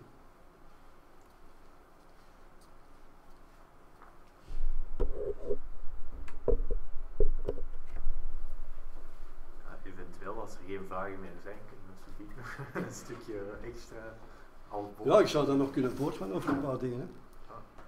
Over de mutaties of de evolutie en co-creatie. Oké, ehm, ik heb hier een vraag. Uh, van Spacetime Ninja. Uh, dus zijn die predingen zelf onderhevig aan regels zoals bewegingsvergelijking of behoudswetten? En indien ja, hoe werkt dit dan met hun afwisselend bestaan. Ja. Um, spreekt de camera nog? Ja. Oké. Nee, dus um, die predingen die, bestaan in momenten, daar is natuurlijk geen beweging, ik heb zelfs geen afstand. Men kan natuurlijk in die UT een afstand definiëren als men dat wil, maar ik zou dat niet doen, omdat dat eigenlijk een onderstelling is op wat er in een moment zich zou afspelen en daar speelt zich niks af. Want er is geen tijd om te bewegen. Uh, als je natuurlijk in de science fiction wilt duiken, dan kan je daar allerlei dingen bij verzinnen. Wat ik eventueel wel dacht dat interessant kan zijn, dat is een intensiteit toekennen aan de, aan de pre-interacties. Een intensiteit dan zit je natuurlijk weer met een schaal waarschijnlijk, maar je zou, je zou kunnen inderdaad, zonder echt, gestopt. ja, Ik ben de conciërge, eh, maar jullie kunnen buiten. Ik denk het, ja, oké, zijn. ja, ja, ja. Dat was een vraag van de conciërge. Dus je zou daar wel kunnen diverse dingen fantaseren, maar dat zou, dat zou de zaak, als je daar zou bewegingsvergelijkingen, dan moeten we de getallen hebben op momenten, dan moeten we beweging hebben, dan moet je die beweging beschrijven. Allemaal in nul tijd. Dus wie dat kan, die krijgt 27 Nobelprijzen, denk ik. Eh, dus nee, ik zou, dat, ik zou daar niet aan beginnen. Ik zou dat niet, doen. Interacties zijn er en ik kan zelfs niet zeggen of er een verschil is tussen. Dus ik zeg, die interacties kunnen zich realiseren tot verschillende dingen. Bijvoorbeeld zwaartekracht, maar, nou, magnetisme, ik weet niet, allerlei velden. Ik heb een, een heel stuk geschreven over eh, fields, wat dat wel interessant is, en ook uit, uit dit perspectief. Maar ik zou nooit binnen het moment dingen gaan onderstellen, behalve dat er kiemen zijn van bestaande dingen, wat ik nu doe eigenlijk. hè. Eh, ik heb op die S'en geen topologie gezet, op de U's wel. Ik heb wel een beeld van die pre-dingen naar de meetkunde of de topologie van de staat. Maar dat is al. Meer zou ik, als de theorie generiek moet zijn, ik heb geen tijd gehad om uit te leggen dat die, maar je kunt het al wel zien, dat daar zowel de kwantumtheorie als de, de macrotheorie, de relativiteitstheorie, past dat allemaal in. Alleen gaat je in de, in de relativiteit de tijd voor de reële getallen nemen, voor de meeste fysica. Eh, gaat je voor de kwantumtheorie eh, bepaalde dingen niet aannemen van de, van de relativiteit, maar gaat je weer andere niveau die even goed in passen. Want hier is echt, denk ik, en ik heb dit met verschillende fysici besproken, de onderstellingen die ik doe zijn minimaal. minimaal. Elke fysische theorie die bestaat, eist meer dan wat hier staat. Zelfs die dingen die ik in Vita Fuge opleg, topologische condities, een soort continuïteit van de F'en, zonder echt continuïteit te zijn. Maar dat zijn echt heel minimale eisen die bij de visie veel sterker verondersteld worden. Dus, goed, dus ja, ik denk dat dat het antwoord is. Ik zou daar niet aan beginnen om daar dingen op te leggen.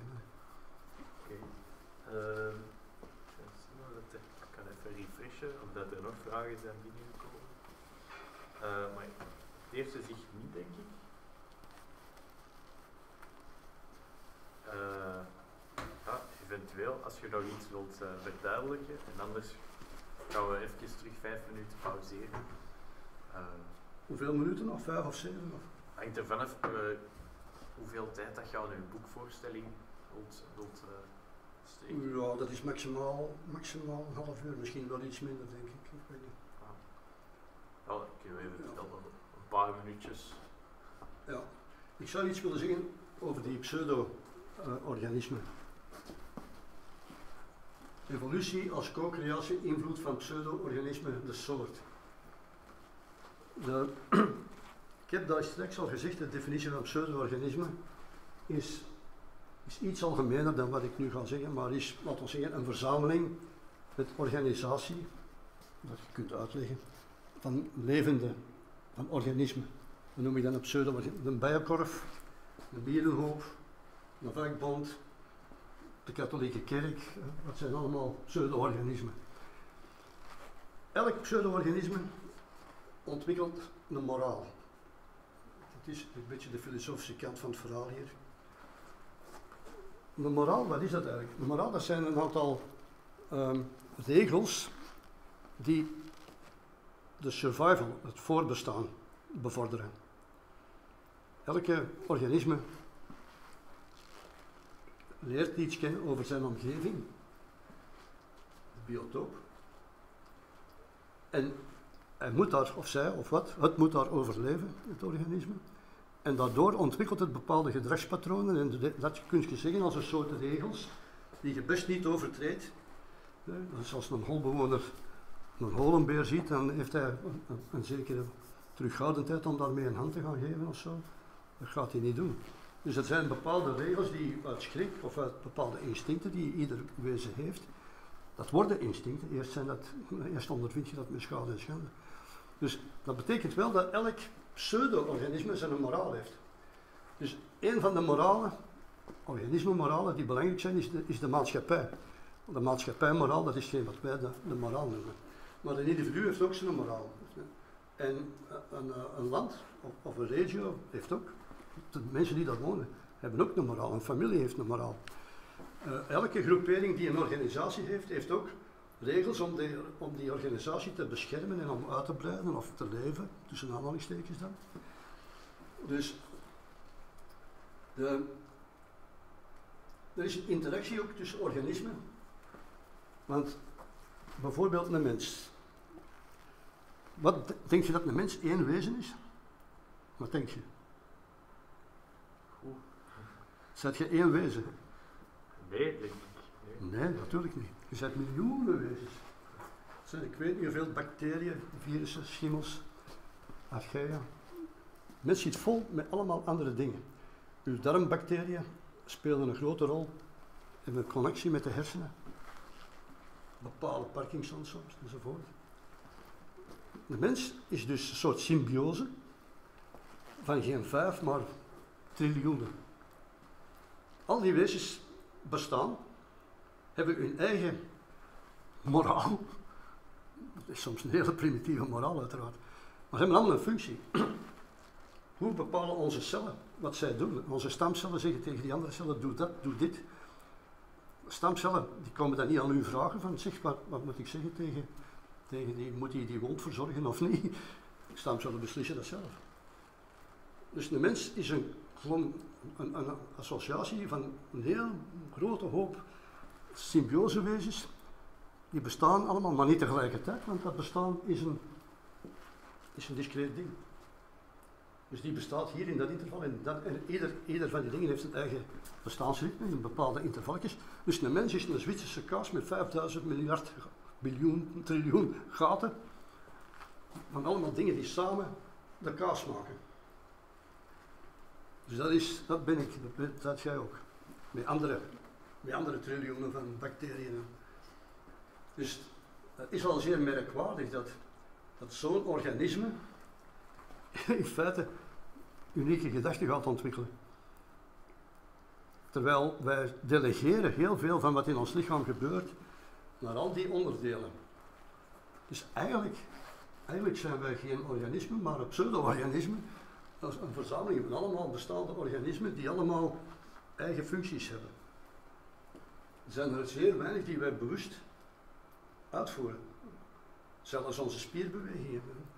Uh, de werking van, van, de, van de bloedsomloop, de werking van het spijsverteringsstelsel. Uh, noem maar op, je kunt bijna eender welke werking opnoemen, we hebben er niks mee te maken. Het gebeurt zonder dat wij er iets mee te maken hebben. En wij weten dat als we dat eten, heb ik misschien straks het zuur. Maar zijn wij dat die dat beslissen of zijn dat die interne dingetjes? Dus dat, um, er is dus een interactie tussen organismen. En als ik naar de, de, de zogenaamde boom van het leven van Darwin ga kijken, dan is dat volgens mij niet helemaal. Is, evolutietheorie staat buiten kijf. Het is geen theorie, dat is gewoon een feit. Hè. Maar de voorstelling die daar gemaakt wordt, als allemaal branches, terwijl volgens sommige biologen zelfs, ik heb er in de familie, ze gaan zeggen, kijk, dat is allemaal ontstaan uit één cel. Dat is heel vreemd. Ik zou zeggen, met mijn zwarte smoker daar, um, er zijn biljoenen en biljoenen snotdingen naar de oppervlakte gestegen. Er zijn miljoenen en miljoenen cellen ontstaan uit verschillende chemische samenstellingen van die, van die slijmerige hoopjes met een vel rond. Waarom zou dat maar één levende cel geweest zijn? Dat is hetzelfde van, we willen alles terugvoeren tot één. Dus één God, één cel. Dus waarschijnlijk is dat een massa cellen geweest. Hè? Dus die, die een boom van het leven, dat zou wel eens een wire kunnen geweest zijn. Die allemaal vanaf, vanaf het verschil, in, vanaf de oorsprong, ik zeg niet dat alles vanaf de oorsprong verschillend is geweest. Maar er zijn er zeker vanaf de oorsprong verschillend geweest. Die lijnen zijn niet allemaal van dezelfde stamlijn vertrokken. Dat, dat heb je natuurlijk als je begint van idee, het komt van één cel. Waar is geen bewijs voor dat het van één cel komt. Maar wel dat er evolutie is, daar is genoeg bewijs voor. Dus ik zou zeggen, kijk ja, dan zijn er dus. eh, Het is, ook mogelijk dat andere slijmballetjes in ondiepe waters, ergens als, er al land bestond en ergens aan de, de Yangtze River in China, dat daar ook levende wezens ontstaan zijn. Dat het niet allemaal van één punt moet komen. Dat is het, een beetje het foutieve idee, denk ik, van veel mensen, dat alles van één ding afstamt. Maar maak er dan een wire van, ja, met misschien wel heel veel verschillende oorsprongen beneden, die alleen in het beginpunt ergens samenhangen aan het feit dat ze allemaal komen van cellen. Maar van verschillende cellen. En dus dan, dan denk ik dat heel veel mensen niet meer gaan zeggen van ja kijk, de mens stamt af van een aap. Wat niet echt waar is. Mens stamt af van wat de mens vroeger was. En wij waren op een zeker moment een soort uh, palingen, palingsjes in de zee, en vissen, amfibieën, uh, zoogdieren, ratachtige, ratachtige nou, tussen een varken en een rat schijnt, ratvarkens. En zo zijn we geëvolueerd. maar waar is, er is het punt waar je kunt zeggen dat we afgesplitst zijn. Ik zou dat niet zo doen zoals zeggen, kijk, van hier zijn primaten en homo dit, homo dat. En dan op een zeker moment doen we het maar samen. Het kan best zijn dat die allemaal verschillend waren, want we hebben toch de, niet de genetische, de genetische informatie is heel, heel dicht. Tussen een mug geloof ik en tussen ons genetisch, ons genoom en dat van een mug is, is denk ik uh, meer dan 70% uh, vergelijkbaar. Dus dat is een heel, heel nauwe samenwerking geweest. Die samenwerking tussen symbiose tussen dieren, dat bestaat heel veel. Maar bij de mens is dat wel opvallend, vind ik. Daar wordt niet over gesproken, maar wij zijn echt een reuze symbiose. kan die samenwerking van soorten nog verder ontwikkelen? Ik denk het wel. Er zitten ook virussen in, in, onze. En, en, bacteriën, virussen, archaea, schimmels, al dat je kunt verzinnen. Dus het is mogelijk dat wij nog veel verder gaan evolueren door een soort groeiende symbiose. Die is ook niet ineens ontstaan, die samenwerking. In het begin was het dus waarschijnlijk een paar cellen en die zijn ontwikkeld. En die hebben een bacterie opgegeten. En dan zijn, dat is de, de verklaring van het ontstaan van de eukaryotische cel zou kunnen zijn dat dat een cel was die gepenetreerd is door een bacterie. Die bacterie is blijven leven en heeft een stuk van haar DNA verloren en is de nucleus geworden van, van het ding. Dus dan zou je dus een stap hebben van de cel naar de eukaryotische cel. Um, maar dat is dus iets dat het nog regelmatig gebeurt, neem ik aan. Dus dat is ook dikwijls gebeurd. En waarschijnlijk zijn er zelfs twee bacteriën binnengekomen in bepaalde cellen. Dus die samenwerking tussen verschillende soorten, een soort is iets dat we achteraf definiëren, nu door, door, door de genetica nu. nu. Vroeger was dat door dat diegenen die met elkaar konden paren. Uh, maar je hebt natuurlijk ligers, de tijgers en leeuwen, die bestaan. Muilezels. Ik weet niet of ze met alle soorten hebben geprobeerd met wie die kunnen. Mensen en bonobos, ik zou niet durven denken dat ze daarachter gezocht hebben. Maar ik weet dus het antwoord ook niet. Maar dat was een, een, een, werkdefinitie die niet goed klopte natuurlijk. Nu, nu met de genetische structuur is het veel beter. Dus ja, ik vermoed dat er dus een, groeiende. Ik zal niet zeggen dat er op oneindig samenwerking zal zijn tussen alle soorten. Maar ik denk wel dat uh, met ons abstract model dat er ook aan, bij dolfijnen en olifanten en zo onderzoeken gaan gebeuren die geestelijke samenwerking zouden kunnen opleveren. Dat we daar kunnen mee converseren op de duur. Dat is niet onmogelijk. Hè? En we hebben al zoveel symbiose. Dus. Goed, ja. Dat uh, heb ik nu toch een paar dingen meer kunnen uitleggen. Die species interaction, als geplande samenwerking, uh, gepland, dat is weer hetzelfde als het ergens begint in een moment. Dan, wanneer is het een plan? Dan moet je vragen of die creatieve pre-dingen gepland zijn. Ze hebben geen reden om te bestaan. Maar als je natuurlijk gaat kijken naar iets dat interageert op het abstracte niveau, dan is het wel mogelijk dat ze gepland zijn. Dus, maar niemand zal dat ooit kunnen. Dat is dat is een, misschien een slechte vraag, maar wel een, een die de mensen gemakkelijk stellen. Is het een plan? Is het, is het intelligent design? Is, het, is er een plan? Maar het komt allemaal van die creatieve pre-interacties. Die komen nergens vandaan, uit de geschiedenis, maar het is wel mogelijk dat in onze abstracte wereld daar interacties zijn. En dat kan niemand bevestigen of ontkennen. Dus daar moet ik niks over zeggen, maar het is, het is mogelijk. Het is mogelijk, maar dat is ook al wat ik ervan kan zeggen. Ehm, goed, ja, alle, alle impact op filosofie heb ik eigenlijk bijna achterwege gelaten. Maar dat staat allemaal in het boek. Dus je kunt dat daar vinden. Mutaties, ja, dat is vanzelfsprekend. Zo'n zo'n creatieve pre-interactie op een zeker moment verandert het object. Dat er, dat best- in zo'n, we hebben gezien, manifestaties, dan is er een tijdje niks en dan is er ineens een wedergeboorte, omdat er een creatief ding in de, in de string verschijnt. Ja, dat kan een mutatie zijn. Dat, dat zou ik zelfs een mutatie noemen. Dan is het geen manifestatie en dan wordt een aantal keren gemanifesteerd en dan ineens muteert het en is het iets anders. Maar gaat nog altijd, dat gemuteerd elektron, dat is nog altijd een stuk van het elektron dat we observeren. Dus met observatie zitten we er altijd naast. En dat vind ik een van, daar zitten heel veel gevolgen in, causaliteit en al die dingen. Ehm, wij moeten, als we over, ik heb organische causaliteit niet gedefinieerd, dat is de, de versie van causaliteit in de werkelijkheid. Die is niet, dat is geen partiële orde, die is niet transitief. En die, dat, om daarover te spreken moet je je ganse logica aanpassen. Want als je implicaties hebt die, die niet A deelt naar B, B naar C, dan A naar C. Als dat niet geldt, dan is onze logica, die in taal ingebouwd zit, niet geschikt. Eigenlijk om dus als je erover praat, moet je heel voorzichtig zijn. Om geen verkeerde input te hebben. Kun je ook veel minder zeggen over die organische causa. Ik heb ze gedefinieerd. Omdat je gewoon rekening moet houden met alle interacties, pre-interacties. Dus dat is dan een niet-transitieve relatie.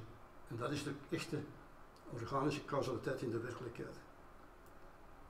Goed, nu heb ik de dingen in elk geval toch kunnen noemen. En hopelijk een aantal vragen opgewekt die voorlopig onbeantwoord blijven. Maar Oké, eh, ik zal eens even zien of er nog vragen zijn bijgekomen. Ik denk het niet. Ehm, dan zullen we even een korte pauze tot 25 over 9 doen. En, korte eh, pauze van vijf minuten. Ja, Ja, en dan eh, op die Zien we ja, jullie nee, terug. drie minuten. Drie, tot, drie, drie minuten? ja, tot 25 Ja, over laten we 9. maar even wachten, maar niet te lang. Misschien dat er sommige mensen inschakelen op kwart na.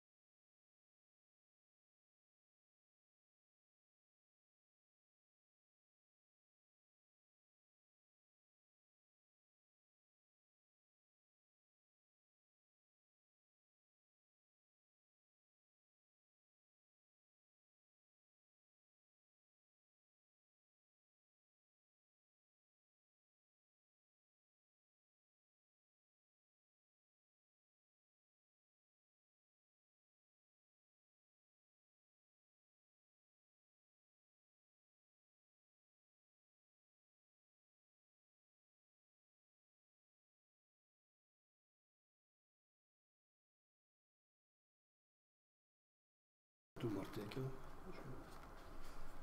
Ja. Oké, en nu iets helemaal anders aan Monty Python zeggen.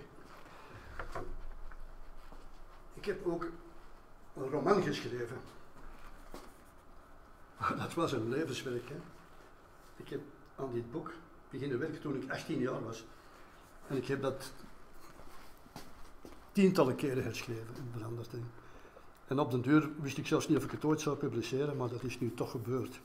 De ergernis van het oog in het duister. Goed, we zullen eens even, ik ga een beetje over het boek vertellen.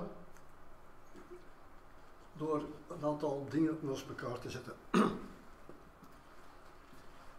Eerst een kleine opmerking over de situatie van het boek. Het gaat over een eiland.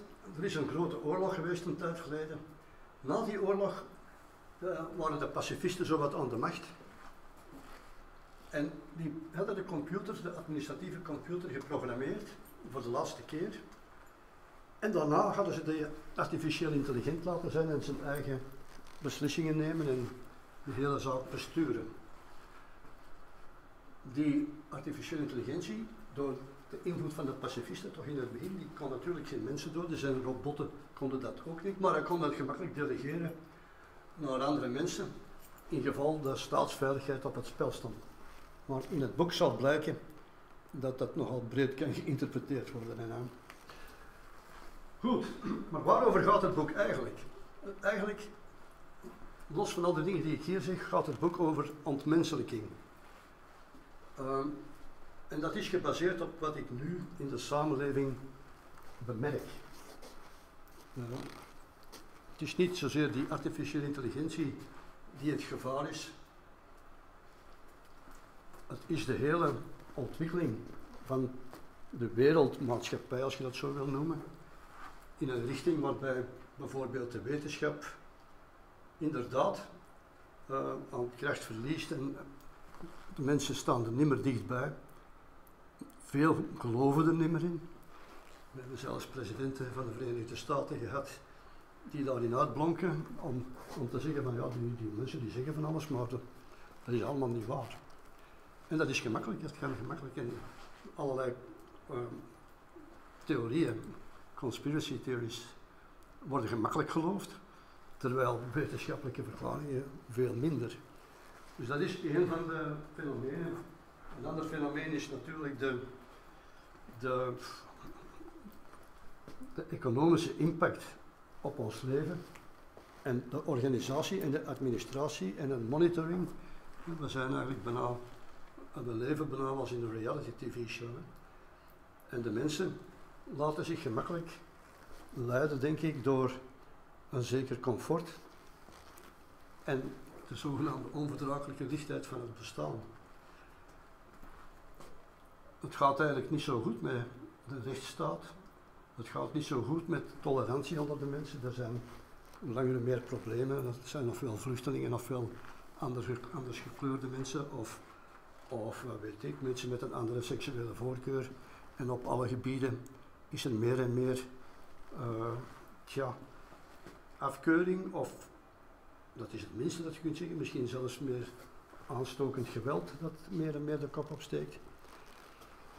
De eten dat we kopen, dan heb je geen enkel benul van wat er nog in zit. Het klaargemaakte producten zijn leeg, denk ik. Uh, daar zit meer scheikunde in dan, dan voedingswaarde. Je kunt, je kunt ermee doorgaan, ik ga daar nu niet heel lang over uitweiden, maar er is een soort ontmenselijking aan de gang. Doordat, doordat wij al langer en meer in, ingepast worden in formele systemen. De, de economie is er het grote voorbeeld van. De, dat merk je nu met de pandemie ook. Het, is precies of er is een keuze tussen of het virus of de economie. Uh, terwijl de economie eigenlijk een, iets zou moeten zijn dat ons dienstbaar is en niet waar wij voor moeten werken en door geregeld moeten worden. Maar goed, er zijn een aantal dingen. Dus ik ga daar eigenlijk in, in mijn verhaal tegenin proberen te gaan. Ik zal dus onderweg ook wel dingen tegenkomen die je dan zult herkennen uit de huidige maatschappij. En dat zijn een aantal personen die maken van alles mee, maar die, die, die gebeurtenissen die veranderen ook hun filosofie. En het is ook, die filosofies zijn ook eigenlijk bijna hoofdpersonen in het verhaal. De filosofie van de twee hoofdpersonen staat centraal in het hele verhaal ook. Goed, dus eerste punt dat ik dus voeding. Er is op het eiland een stad die heet de stad, dat is gemakkelijk. En er is ook Sodom en er is ook Zola, nog andere staten. Uh, vooral in die stad gebruikt men voedselpillen. Dat zijn pillen die ontdekt zijn door de grootvader van de hoofdpersoon, die op bacteriën in de darmen die eigenlijk vitamines gingen produceren, gestoten was. Het was het begin van die economie, of van die nijverheid van de voedselpillen. Maar dan hadden ze dus direct ontdekt dat de mensen dan eigenlijk hun stoelgang tot bijna nul herleid werd. En dan hadden ze daar vezelblokjes bij uitgevonden. En oliecapsules, want dan hadden ze allemaal een droge darm van die vezelblokjes. Dus je had daar de voedselpil, de vezelblokjes en de oliecapsules en iedereen was gelukkig en kon eten. Maar elders op het eiland waren er nog altijd experimenten met de oude landbouw. Vooral in Sodom. Sodom dat is de plaats waar de anarchisten wonen. De stad is verdeeld tussen, het komt daar zelfs, de orde en de andere. En dan is er op Zola, dat zijn de communisten feitelijk. Dat, Zola is een Franse schrijver, ik weet niet of je die kent, die uh, het boek De Mijn geschreven heeft over mijnwerkers. Zola, in het mijnboek, is de stad waar mijnwerkers wonen die in de regenboogbergen de mineralen gaan oogsten voor hetgeen de computer er allemaal mee doet. Goed, de delta-bewoners, er is een delta, de twee rivieren, de kleine stiks en de, en de grote stiks. De delta-bewoners, dat is een mixing. Dat zijn allemaal overblijfselen. Aan de ene kant zijn dat overblijfselen van de oorlog, uh, stel rebellen, maar ook verschoppelingen van de beschaving. Dat zijn arme sukkelaars die niks anders hadden en die dan maar naar de delta gingen. En die leven daar primitief, meestal in grotten. Jager-verzamelaars, waarbij jager een, een, een eufemisme zou moeten zijn, want het is vooral het vangen van insecten. Veel, veel te eten hadden die niet. En wat planten, maar heel mager. In het noorden en het noordwesten van het eiland, daar, volgens hetgeen de mensen daar in de stad weten, is dat nog altijd heel vervuild van de, door de oorlog. In die oorlog hebben ze kernwapens gebruikt, mini-kernwapens. Bijvoorbeeld een personen, persoonlijk wapen, mini-neutronenbom. Dat bestaat. Ik, mijn boek is geen science fiction. De stand van de wetenschap is ongeveer zoals wij die nu kennen. Dus maar die mini-neutronenbom, die trouwens bestaat, de enige die die hebben is uh, de Verenigde Staten en Rusland. En ik zal misschien een controversiële uitspraak doen door te zeggen dat de Verenigde Staten die waarschijnlijk gebruikt hebben toen de zes divisies van Saddam met de 750 tanks uit Bagdad kwamen en zo stom waren van de woestijn in te gaan. De mini-neutronenbom heeft de eigenschap dat het in een kleine oppervlakte alle leven verwoest en tot verpulvert. Je merkt er niks meer van, maar het materiaal blijft staan. En dus die slag van de 750 tanks heeft één dag geduurd, we hebben er niks van gezien op tv. En die zes divisies zijn verdwenen. Volgens de Amerikanen zijn ze gevlucht. Maar goed, dat gezegd zijn, daar zal ik misschien wel reacties op krijgen. Maar het is denk ik toch. De generaal Franks vroeg bijstand, kreeg die niet en heeft toch gewoon voortgegaan. En een dag later was alles opgelost. Goed, uh, werk en productie. er is een basisinkomen, maar het is klein. De essentiële arbeid wordt verricht door de robotten van, van de computer die Argus heet. Maar er zijn administratieve functies die eigenlijk overbodig zijn, want dat kan even door de computer gedaan worden. Maar de mensen moeten iets doen, dus er zijn een aantal uh, administratieve functies. Het wordt in het boek duidelijk dat de computer de technologie achterhoudt. De mensen, in de Engelse versie van het boek ga ik daar iets verder in, ik heb er een Engelse versie van, daar wordt het verder uitgelegd, maar hier wordt het een paar keer verwezen naar het feit dat uh, bijvoorbeeld, het is geen enkel probleem om een, om een vehikel te maken, want na de oorlog zijn alle vliegtuigen, schepen, wapens vernietigd. Een aantal wapens zijn opgeborgen ergens in een kluis onder de grond, onder de delta. Maar het is niet moeilijk om die terug te maken voor de robotten. Dus er is geen auto of geen voertuig eigenlijk dat daar rondrijdt. Alle mensen doen alles met de hand, met kruiwagentjes en, en, en karren. Een beetje, het is een soort middeleeuws leven dat ze leiden in een hoogtechnologische maatschappij. waarbij de technologie voor de absolute grootste over meerderheid van de bevolking verborgen blijft. Er, zijn wel, er is wel een computernetwerk waarop Barnum spelen georganiseerd, een grote massaspelen, zoals we die hier ook gekend hebben, waarbij allerlei, allerlei groepen uh, naakt en beschilderd elkaar te lijf gaan, zien wie er wint. En dat is, geeft aanleiding tot het nodige amusement en, en supporters. Dus een beetje zoals voetbal, dan zijn ze niet naakt, maar dat komt nog. Goed, dus dat is er wel. Maar voor de rest is, is daar bijna niks te doen. Hè. En die mensen kennen grote verveling en er zijn nogal wat zelfmoorden. Uh, dus na die oorlog, dat was een oorlog tussen rood en blauw, dat verwijst een beetje naar de Amerikaanse situatie, denk ik. En uh, na de oorlog waren er dus paarse de kleur van het uniform liefst, uh, en die bewakten de orde en veiligheidsopdrachten. Boeken waren verbannen, de meeste boeken, niet allemaal, maar de meeste boeken waren verbannen. En alles wat informatie over de vroegere koloniën is ook verboden. De koloniën, het eiland had koloniën overal. Het eiland situeert zich daar ergens in de zee, uiteraard voornamelijk. En heeft, had vroeger contacten met alle grote continenten in de buurt. Ik verwijs zonder namen te noemen naar Europa, Afrika, Amerika. Maar het eiland ligt daar ergens in. Zou, ik heb ook nooit in het boek gezegd dat het Atlantis zou kunnen zijn, maar je zou dat kunnen denken. Maar misschien is dat niet. Dus goed, bewapening en technologie, zoals ik zeg, de wapens zijn vernietigd. Uh, er zijn nog een drietal oude schepen die liggen te, rosten, te roesten in de, in de dok. Er is nog één in de droogdok in aanbouw. Uh, dat komt ook in het boek. Het eiland is dus volledig afgesloten van de buitenwereld die vroeger gekoloniseerd werd. Al de, al de rijkdom van vroeger kwam uit die buitenwereld. Het, het eten, alles, alles, alle materialen. Nu veel minder. Dus het energiegebruik is gerantsoeneerd. Maar het wordt gaandeweg duidelijk, en vooral in de Engelse versie meer dan hier, dat Argus allerlei andere middelen achter, zijn, uh, achter de deur had. Hij heeft zelf mini-kernreactoren met de vleet. Maar de mensen krijgen daar niks van behalve een rantsoen en een basisinkomen. In de anarchistische stad Sodom, ja, daar doen ze dingen met zonne-energie terug en met landbouw. Maar de betrekkingen tussen de stad en Sodom zijn nogal miniem. En zijn nog altijd heel cool. De oorlog waar die aan verschillende kanten. Na de oorlog hadden niet alleen de pacifisten een, een moment, maar ook de feministen. En die hadden ervan geprofiteerd om een vrouwelijke paus te benoemen. En die eerste vrouwelijke paus die begon zich uitbundig te begon, dat een vrouw natuurlijk, die begon zich uitbundig te sminken. En de volgers, de, de bisschoppen zal ik maar zeggen, die, die begonnen dat na te doen en begonnen te overdrijven uiteraard, mannen zowel als vrouwen. En dat gaf aanleiding tot de zogenaamde maskersecte. Dat waren dus hoogwaardigheidsbekleders die hun gezicht mochten, niet iedereen mocht dat doen, beschilderen met eigen ontwerpen waar ze patent op kregen. En dat een van de grote intellectuele prestaties was van zo'n patent te krijgen. De godsdienst die had geen theologie als basis, er was eigenlijk geen god, maar ja, dat was een lege doos met wat regeltjes, als een pseudo-organisme. Uh, het regeltjes volgen was de hoofdzaak, zoals tegenwoordig in de meeste godsdiensten misschien. Aan de andere kant was er de orde, en dat is een uitloopsel van de orde van geneesheren en rechters. Daar is dat ontstaan, twee grote ordes.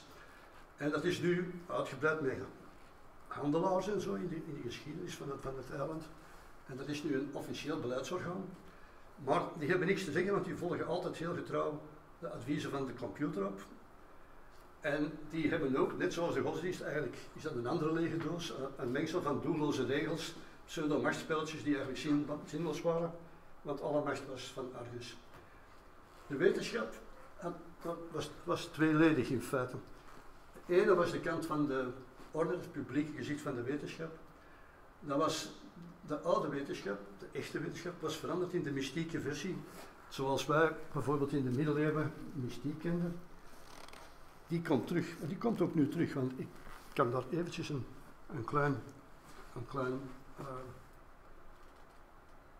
klein feit bij vertellen uit, de tijd dat ik die lessen gaf in de in de licentie vroeg ik aan de studenten, het was een jaar met 25 studenten in de eerste les. En ik vroeg wie van de studenten gelooft er in astrologie. En ik verwachtte, het zijn wiskunde, ik verwachtte er er geen vijf zijn. Want we hadden net geteld 20, 20 van de 25 mooie getallen. 20 van de 25 studenten van eerste les wiskunde geloofden, ik zou de test nu eens willen doen, als ze eerlijk antwoorden. En de reden was, ja maar, ja, ik zeg, ja maar die sterrenbeelden, die sterren staan kilometer, enfin, biljoenen mijlen uit elkaar. Dat zijn geen sterrenbeelden, die, die hebben geen betekenis. Ja, maar kunt je bewijzen dat die geen invloed hebben op de aarde? Ja, die hebben met hun zwaartekracht een heel klein, klein beetje invloed op de aarde, maar niet op uw geboortedatum. Of een, maar ja, als er een kleine invloed is, dus 20 van de 25 studenten. Dus ik vrees, en tegenwoordig, ik, de numerologen, dus dat zijn mensen die allerlei eigenschappen naar getallen toekennen, die zijn daarmee bezig. De sacred geometry, veel mensen geloven in de, in de heilige meetkunde, allerlei vreemde constructies met polyeders. en- Dus dat is nu ook aan de gang. Eh, goed, ik ga daar niet te. In, in een Engelse boek eh, komt er dus een, een hoofdstuk waar een hoofdpersoon ontdekt dat hij een Argus-project heeft voor terraformen van Mars en voor een atoomduikboot. Dus gevorderde technologie die absoluut niet bij de mensen komt. De opvoeding van kinderen, dat is ook een heel rare zaak. De scholen die bieden een vastliggend programma aan en hun kinderen worden gewoon weggenomen van het huis. In, dat is al een paar generaties, twee of zo, een paar is niet zo groot hoor. En die worden weggenomen en opgevoed in, in. Die krijgen een klein roos maskertje van een bepaalde leeftijd, dat wordt purper van een hogere leeftijd. En het zijn allemaal mooi gelijkvormig. En de leraars heten oom of tante, dat vind ik wel grappig. Eh, de vrouwen tegenwoordig die worden kunstmatig bevrucht. Met zaad uitgekozen door Argus, die een voorkeur heeft voor albino's voor andere reden. En vlak na de normaal pijnloze bevalling wordt het kind al weggenomen en in een kweekschool geplaatst. Al die kinderloze moeders die hebben een beetje een probleem. Jonge volwassenen hebben geen gezinsleven, hebben ook geen identiteit eigenlijk. Er zijn nogal wat zelfmoorden, ja, dat is zeker. Politiek, er zijn binnen de orde en in de delta nogal anti-Argus-stromingen. Ik nog even staan. Ja. Eh, Argus heeft spionnen in de orde en heeft weinig contact met de mogelijke rebellen. Hij overweegt meer acties tegen die rebellen. De mijnwerkers van Zola zijn nogal trouw en het pendelbootje dat met de mineralen heen en weer gaat, die, dat wordt nog altijd mooi Dan heb ik de hoofdpersonen even snel voorgesteld. Och, een blinde straatzanger. Ah, dat is mijn blues, mijn blues eh, video dat even boven komt. Die blind is, maar die later wonderbaarlijk geneest. En die wordt een schilder van maskers, maskers van zeehengel, van die hengelvissen, die zeeduivels. Die hebben lichtgevende organen. Dat zijn heel mooie, van mooie, merkwaardige. Dus hij, hij- hij schildert die en wordt heel beroemd daarbij. Hij wordt infiltrant voor ergens op een moment, maar ook lid voor de maskersecte. Hij wordt dus een dubbelspion als het ware in de, in de orde en in de, als lid voor Argus en als lid van de orde liever en als spion voor Argus. Triton is zijn vriend, een oude vriend van de Kickforce divisie in het leger. Toen het leger ongewapend werd, bestond er nog altijd zo'n aqua-leger. eh, waar ze onder, onder water operaties moesten uitvoeren, misschien allemaal aan een schip of zo, of om iets te werken. Het werd een beetje zinloos allemaal. Die Triton is teratoloog. Teratoloog is een bestaande wetenschap. Dat is monsterkundige. Is monsterafwijking bij dieren en mensen. Ehm, goed, eh, het kweekt chameleons die afstammen van vroeger ingevoerde exemplaren uit de koloniën. En hij valt stil aan die ongenade bij de orde omdat hij de mystieke wetenschap niet aanvaardt. Vlieg, dat is een socioloog, frigide, vlieg, in de Argus-kweekscholen. Door omstandigheden is zij eigenlijk op een zeker moment de geleidehond van Och. Zij moet de blinden begeleiden. En later blijft ze in de delta bij de verschoppelingen tot het ganse systeem eh, min of meer ontploft. Nog een, een andere persoon is Thanatos. Dat is de, de directeur van een onderzoeksinstituut waar vreemde experimenten gedaan worden op zogenaamde krankzinnigen. Dat is een beetje de eh, een fascistische trek in de orde. Eh, de filosofie van Och en Triton is verwant, want ze gaan allebei terug op de grootvader van Och. Maar beide ontwikkelen die in een aparte richting. Och die door zijn genezen van zijn blindheid, een soort blinde vlek, die door, door dit, deze koffer goed wordt aangegeven als een blinddoek. Hij ziet wel, maar hij ziet niet, niet goed. Of zijn hersenen zien niet goed. Hij is wel kritisch, maar laat zich toch vangen door het fascistisch denken tot hij het doorziet op het laatste. Triton die gaat door zijn ervaring in de delta meer met contact met een bepaalde blinde profeet, een andere blinde profeet. En de Ichthus-secte meer op weg van het, de weg op van het altruïsme. Dan ga ik heel snel, als mag, het verhaal nog even uh, heel kort het verhaal. Ehm, dus op een zeker moment wordt Och uitgenodigd naar het testcentrum van de stad, omdat eh, er wordt een, soort jagersgroep opgericht om terroristen te gaan uitschakelen in de delta. En uh, Och vindt het wel vreemd dat hij daarvoor gevraagd wordt, want hij is blind en dan denkt wat kan ik doen. Maar toch, er is allemaal een diepere betekenis aan, blijkt achteraf, maar die kent hij op dat moment niet. Hij vindt het ook raar dat het burgers zijn en niet de parsbeambten. Die groep gaat op tocht en ontdekt na een paar avonturen de, de terrorist die Guru heet, in, in, in de oude ruïnes van de oude stad. Moet je zo'n beetje denken aan Rome met catacombes. En, er is een ene in de groep die een wapen heeft, want alle mensen zijn eigenlijk ongewapend. Er is er ene met mes, de, de, de, doder van de groep. En die doet inderdaad het vonnis, die, die stelt die guru terecht. Maar net tot, als dat gebeurd is, dan vallen een aantal holbewoners de catacomben binnen. En slechts drie van de leden van die groep, en dat waren er negen of acht, hetgeen die overleden zijn, och, vlieg en dood. Die dood is een stotterende wijsgeer. En ze hebben alle drie een gebrek, van dat denkt, ook dat het daardoor is dat ze gespaard worden. Och is blind, dood stottert, en vlieg is lelijk, dachten. Maar hij is blind. Dus die worden opgenomen in de primitieve gemeenschap. En hij geniet als blinde en zeker aanzien, omdat blinden een beetje als profeten gelden. Hij wordt wel gepest door een dwerg, een gibbel. En die gooit op met stenen en dat is echt een, een, pestkop. Maar die kwetst op een moment een wijze met een steen en wordt dan gestraft, dag en nacht ingegraven, tot de kin in de zaatvlakte. Dat overleeft wel, maar het is niet prettig. Och gebruikt dat voorval om, want hij was een van de slachtoffers van die dwerg, om een school op te richten. Hij stelt voor een school op te richten, want hij had ontdekt dat de jongelingen van die, van die uh, holbewoners eigenlijk best intelligent. Ze zijn helemaal niet zo dom als dat hij dacht eerst. Natuurlijk, dat wordt goedgekeurd. Hij wordt dan zelf ook Gulu genoemd. Dat doet hem wel nadenken, want dat was de naam van de terrorist die ze moesten vermoorden. Later wordt er een, wijze vermoord. En men denkt direct dat Gibil, die een dwerg, een wraak heeft genomen voor zijn straf.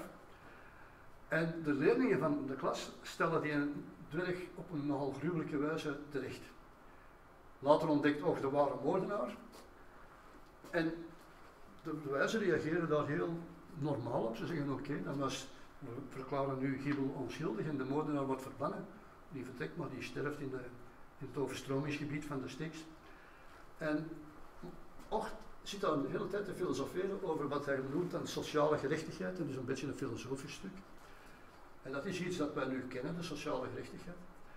Hij voelt zich geroepen om een optocht naar de stad te organiseren, omdat hij wil dat de holbewoners terug zouden integreren met de stadsbewoners. Want hij vindt, onder andere met contact met die jongeren, dat ze toch wel intelligent zijn en dat ze helemaal niet zo minderwaardig zijn. En hij voelt zich eigenlijk een beetje als een messias. Maar het plan faalt. Op de duur staat hij alleen. De vlieg laat hem zelfs alleen de stad terug binnenvallen. Wanneer hij in de stad is, gaat hij bij zijn vriend Triton wonen. En, en die neemt hem al eens mee naar bijeenkomsten van de orde. Dan is hij nog altijd niet genezen. Maar in de kelder van Tritons huis ontdekken ze, enfin, Triton wist het dan, hij neemt Hok mee in die gang. En die loopt heel diep tot onder de zeebodem. En op de muren staan allerlei schilderijen in lichtgevende, fluorescerende verf van hengelvissen, van die draken. Maar, maar, maar Och kan dat niet zien. Ze gaan terug naar boven, Och komt later terug. En er is een gas dat komt en gaat in die gang. Dus alsof, er getijden zijn, wordt dat erin gepompt en eruit gezogen. En het is een gifgas. En hij sterft dan. En het valt op een zeker moment met zijn gezicht tegen de muur en schuift omlaag. Naast een grote vis die daar geschilderd is, hij raakt die aan.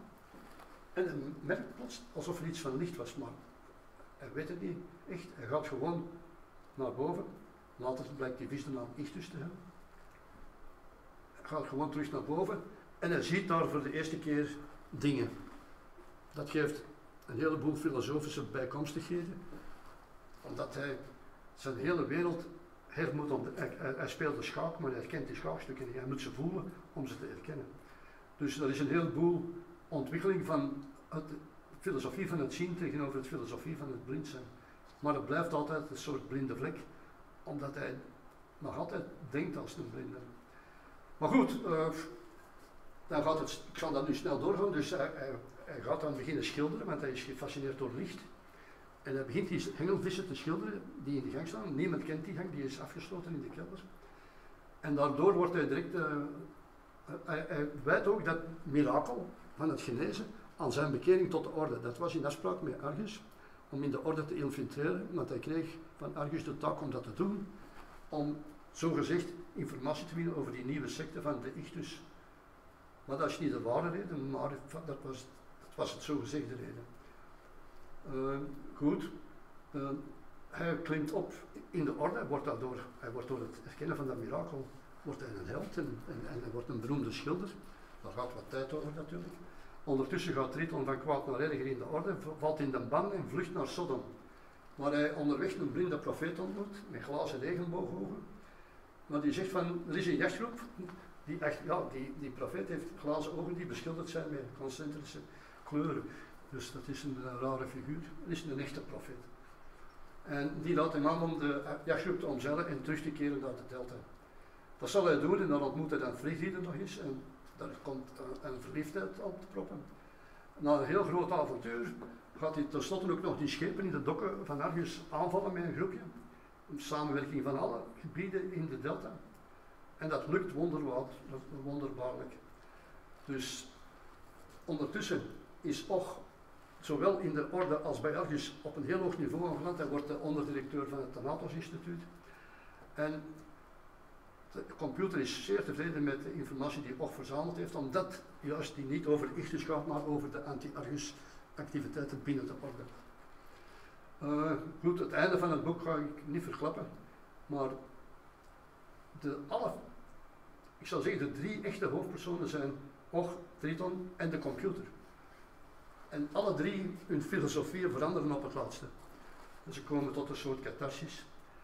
Uh, de filosofische problemen die daar behandeld worden, zijn ook de filosofische problemen die tegenwoordig nog altijd een probleem zijn. Daar komt onder andere ook uh, een stukje van mijn model aan te pas. Er wordt over evolutie gesproken, er wordt over, over, over alles gesproken. Dus de filosofie die hier in het boek aan bod komt, heb ik daar juist in de voordracht een beetje ingeleid, zal ik zeggen, maar dan meer wetenschappelijk. Uh, goed, dus het is een boek dat, uh, denk ik, heel avontuurlijk is, maar tegelijkertijd filosofisch. Het is geen science fiction. Uh, het is een mengeling. Ik zou zeggen, mijn invloeden zijn in dit boek vooral uh, Frans Kafka, het surrealisme van de organisatie, van de administratie in onze en deze maatschappij, die ook een beetje de onze is. Het sociale van Ben Traven, of voor die verschoppelingen, die primitievelingen, Ben Traven is daar berucht voor. En, en Dylan Poe voor een beetje het horror, het horrorgehalte nu en dan van bepaalde activiteiten. Dus ik denk dat het een boek is met vele gezichten, een aantal facetten. En dus misschien toch waard om, om eens te bekijken. Je kunt dat van de uitgeverij online bestellen. Dat staat dat ergens aan de, op de informatie, ik denk het. Hè? Ja, uh, dus uh, inderdaad, de link om het te bestellen staat in de beschrijving, in, in de livestream hier. Uh, en ja, en ook de, de, de e-file van, uw, ja, ja. van uw andere boek, Time Hybrid. Ja, ja. Ehm, dus als je dat nog wilt, die e-file, dat is uh, gratis dat je dat krijgt. Je moet enkel die vorm invullen. Uh, en straks wanneer ik thuis ben, dan, uh, dan zal ik die dan versturen. Dus uh, dan heb je nog tot half elf ongeveer. Om, ja, kunnen ze dat dan nou nooit nog bestellen? Ik of? kan het eventueel gewoon als een link ah, ja, dat kun je gewoon doen. ja. en die zetten. Ja. dus eventueel. Maar als je, als je de vorm invult, dan krijg je echt het Word document en dan zit de layout ook sowieso wel zoals ja, dat oorspronkelijk was. Dus ja, ja, oké. Okay. Alright, uh, merci hè, voor, de, voor de lezing en voor de, de boekvoorstelling. Ja. Uh, fijn om u na al die jaren toch nog eens. na 55 jaar. Ja. Ik zag ze bij de wieg en nou, bij, bij, mijn graf zou ik zeggen, maar nog niet echt. Hè. ja. ja, inderdaad. En uh, ja, jullie ook bedanken om allemaal te kijken. En ja, nog een goede avond. En als je dus nog uw, uw boek wilt, in de beschrijving kijken en uh, dan brengen we dat in orde. Alright. Hierover zijn geen vragen zeker. Hierover waren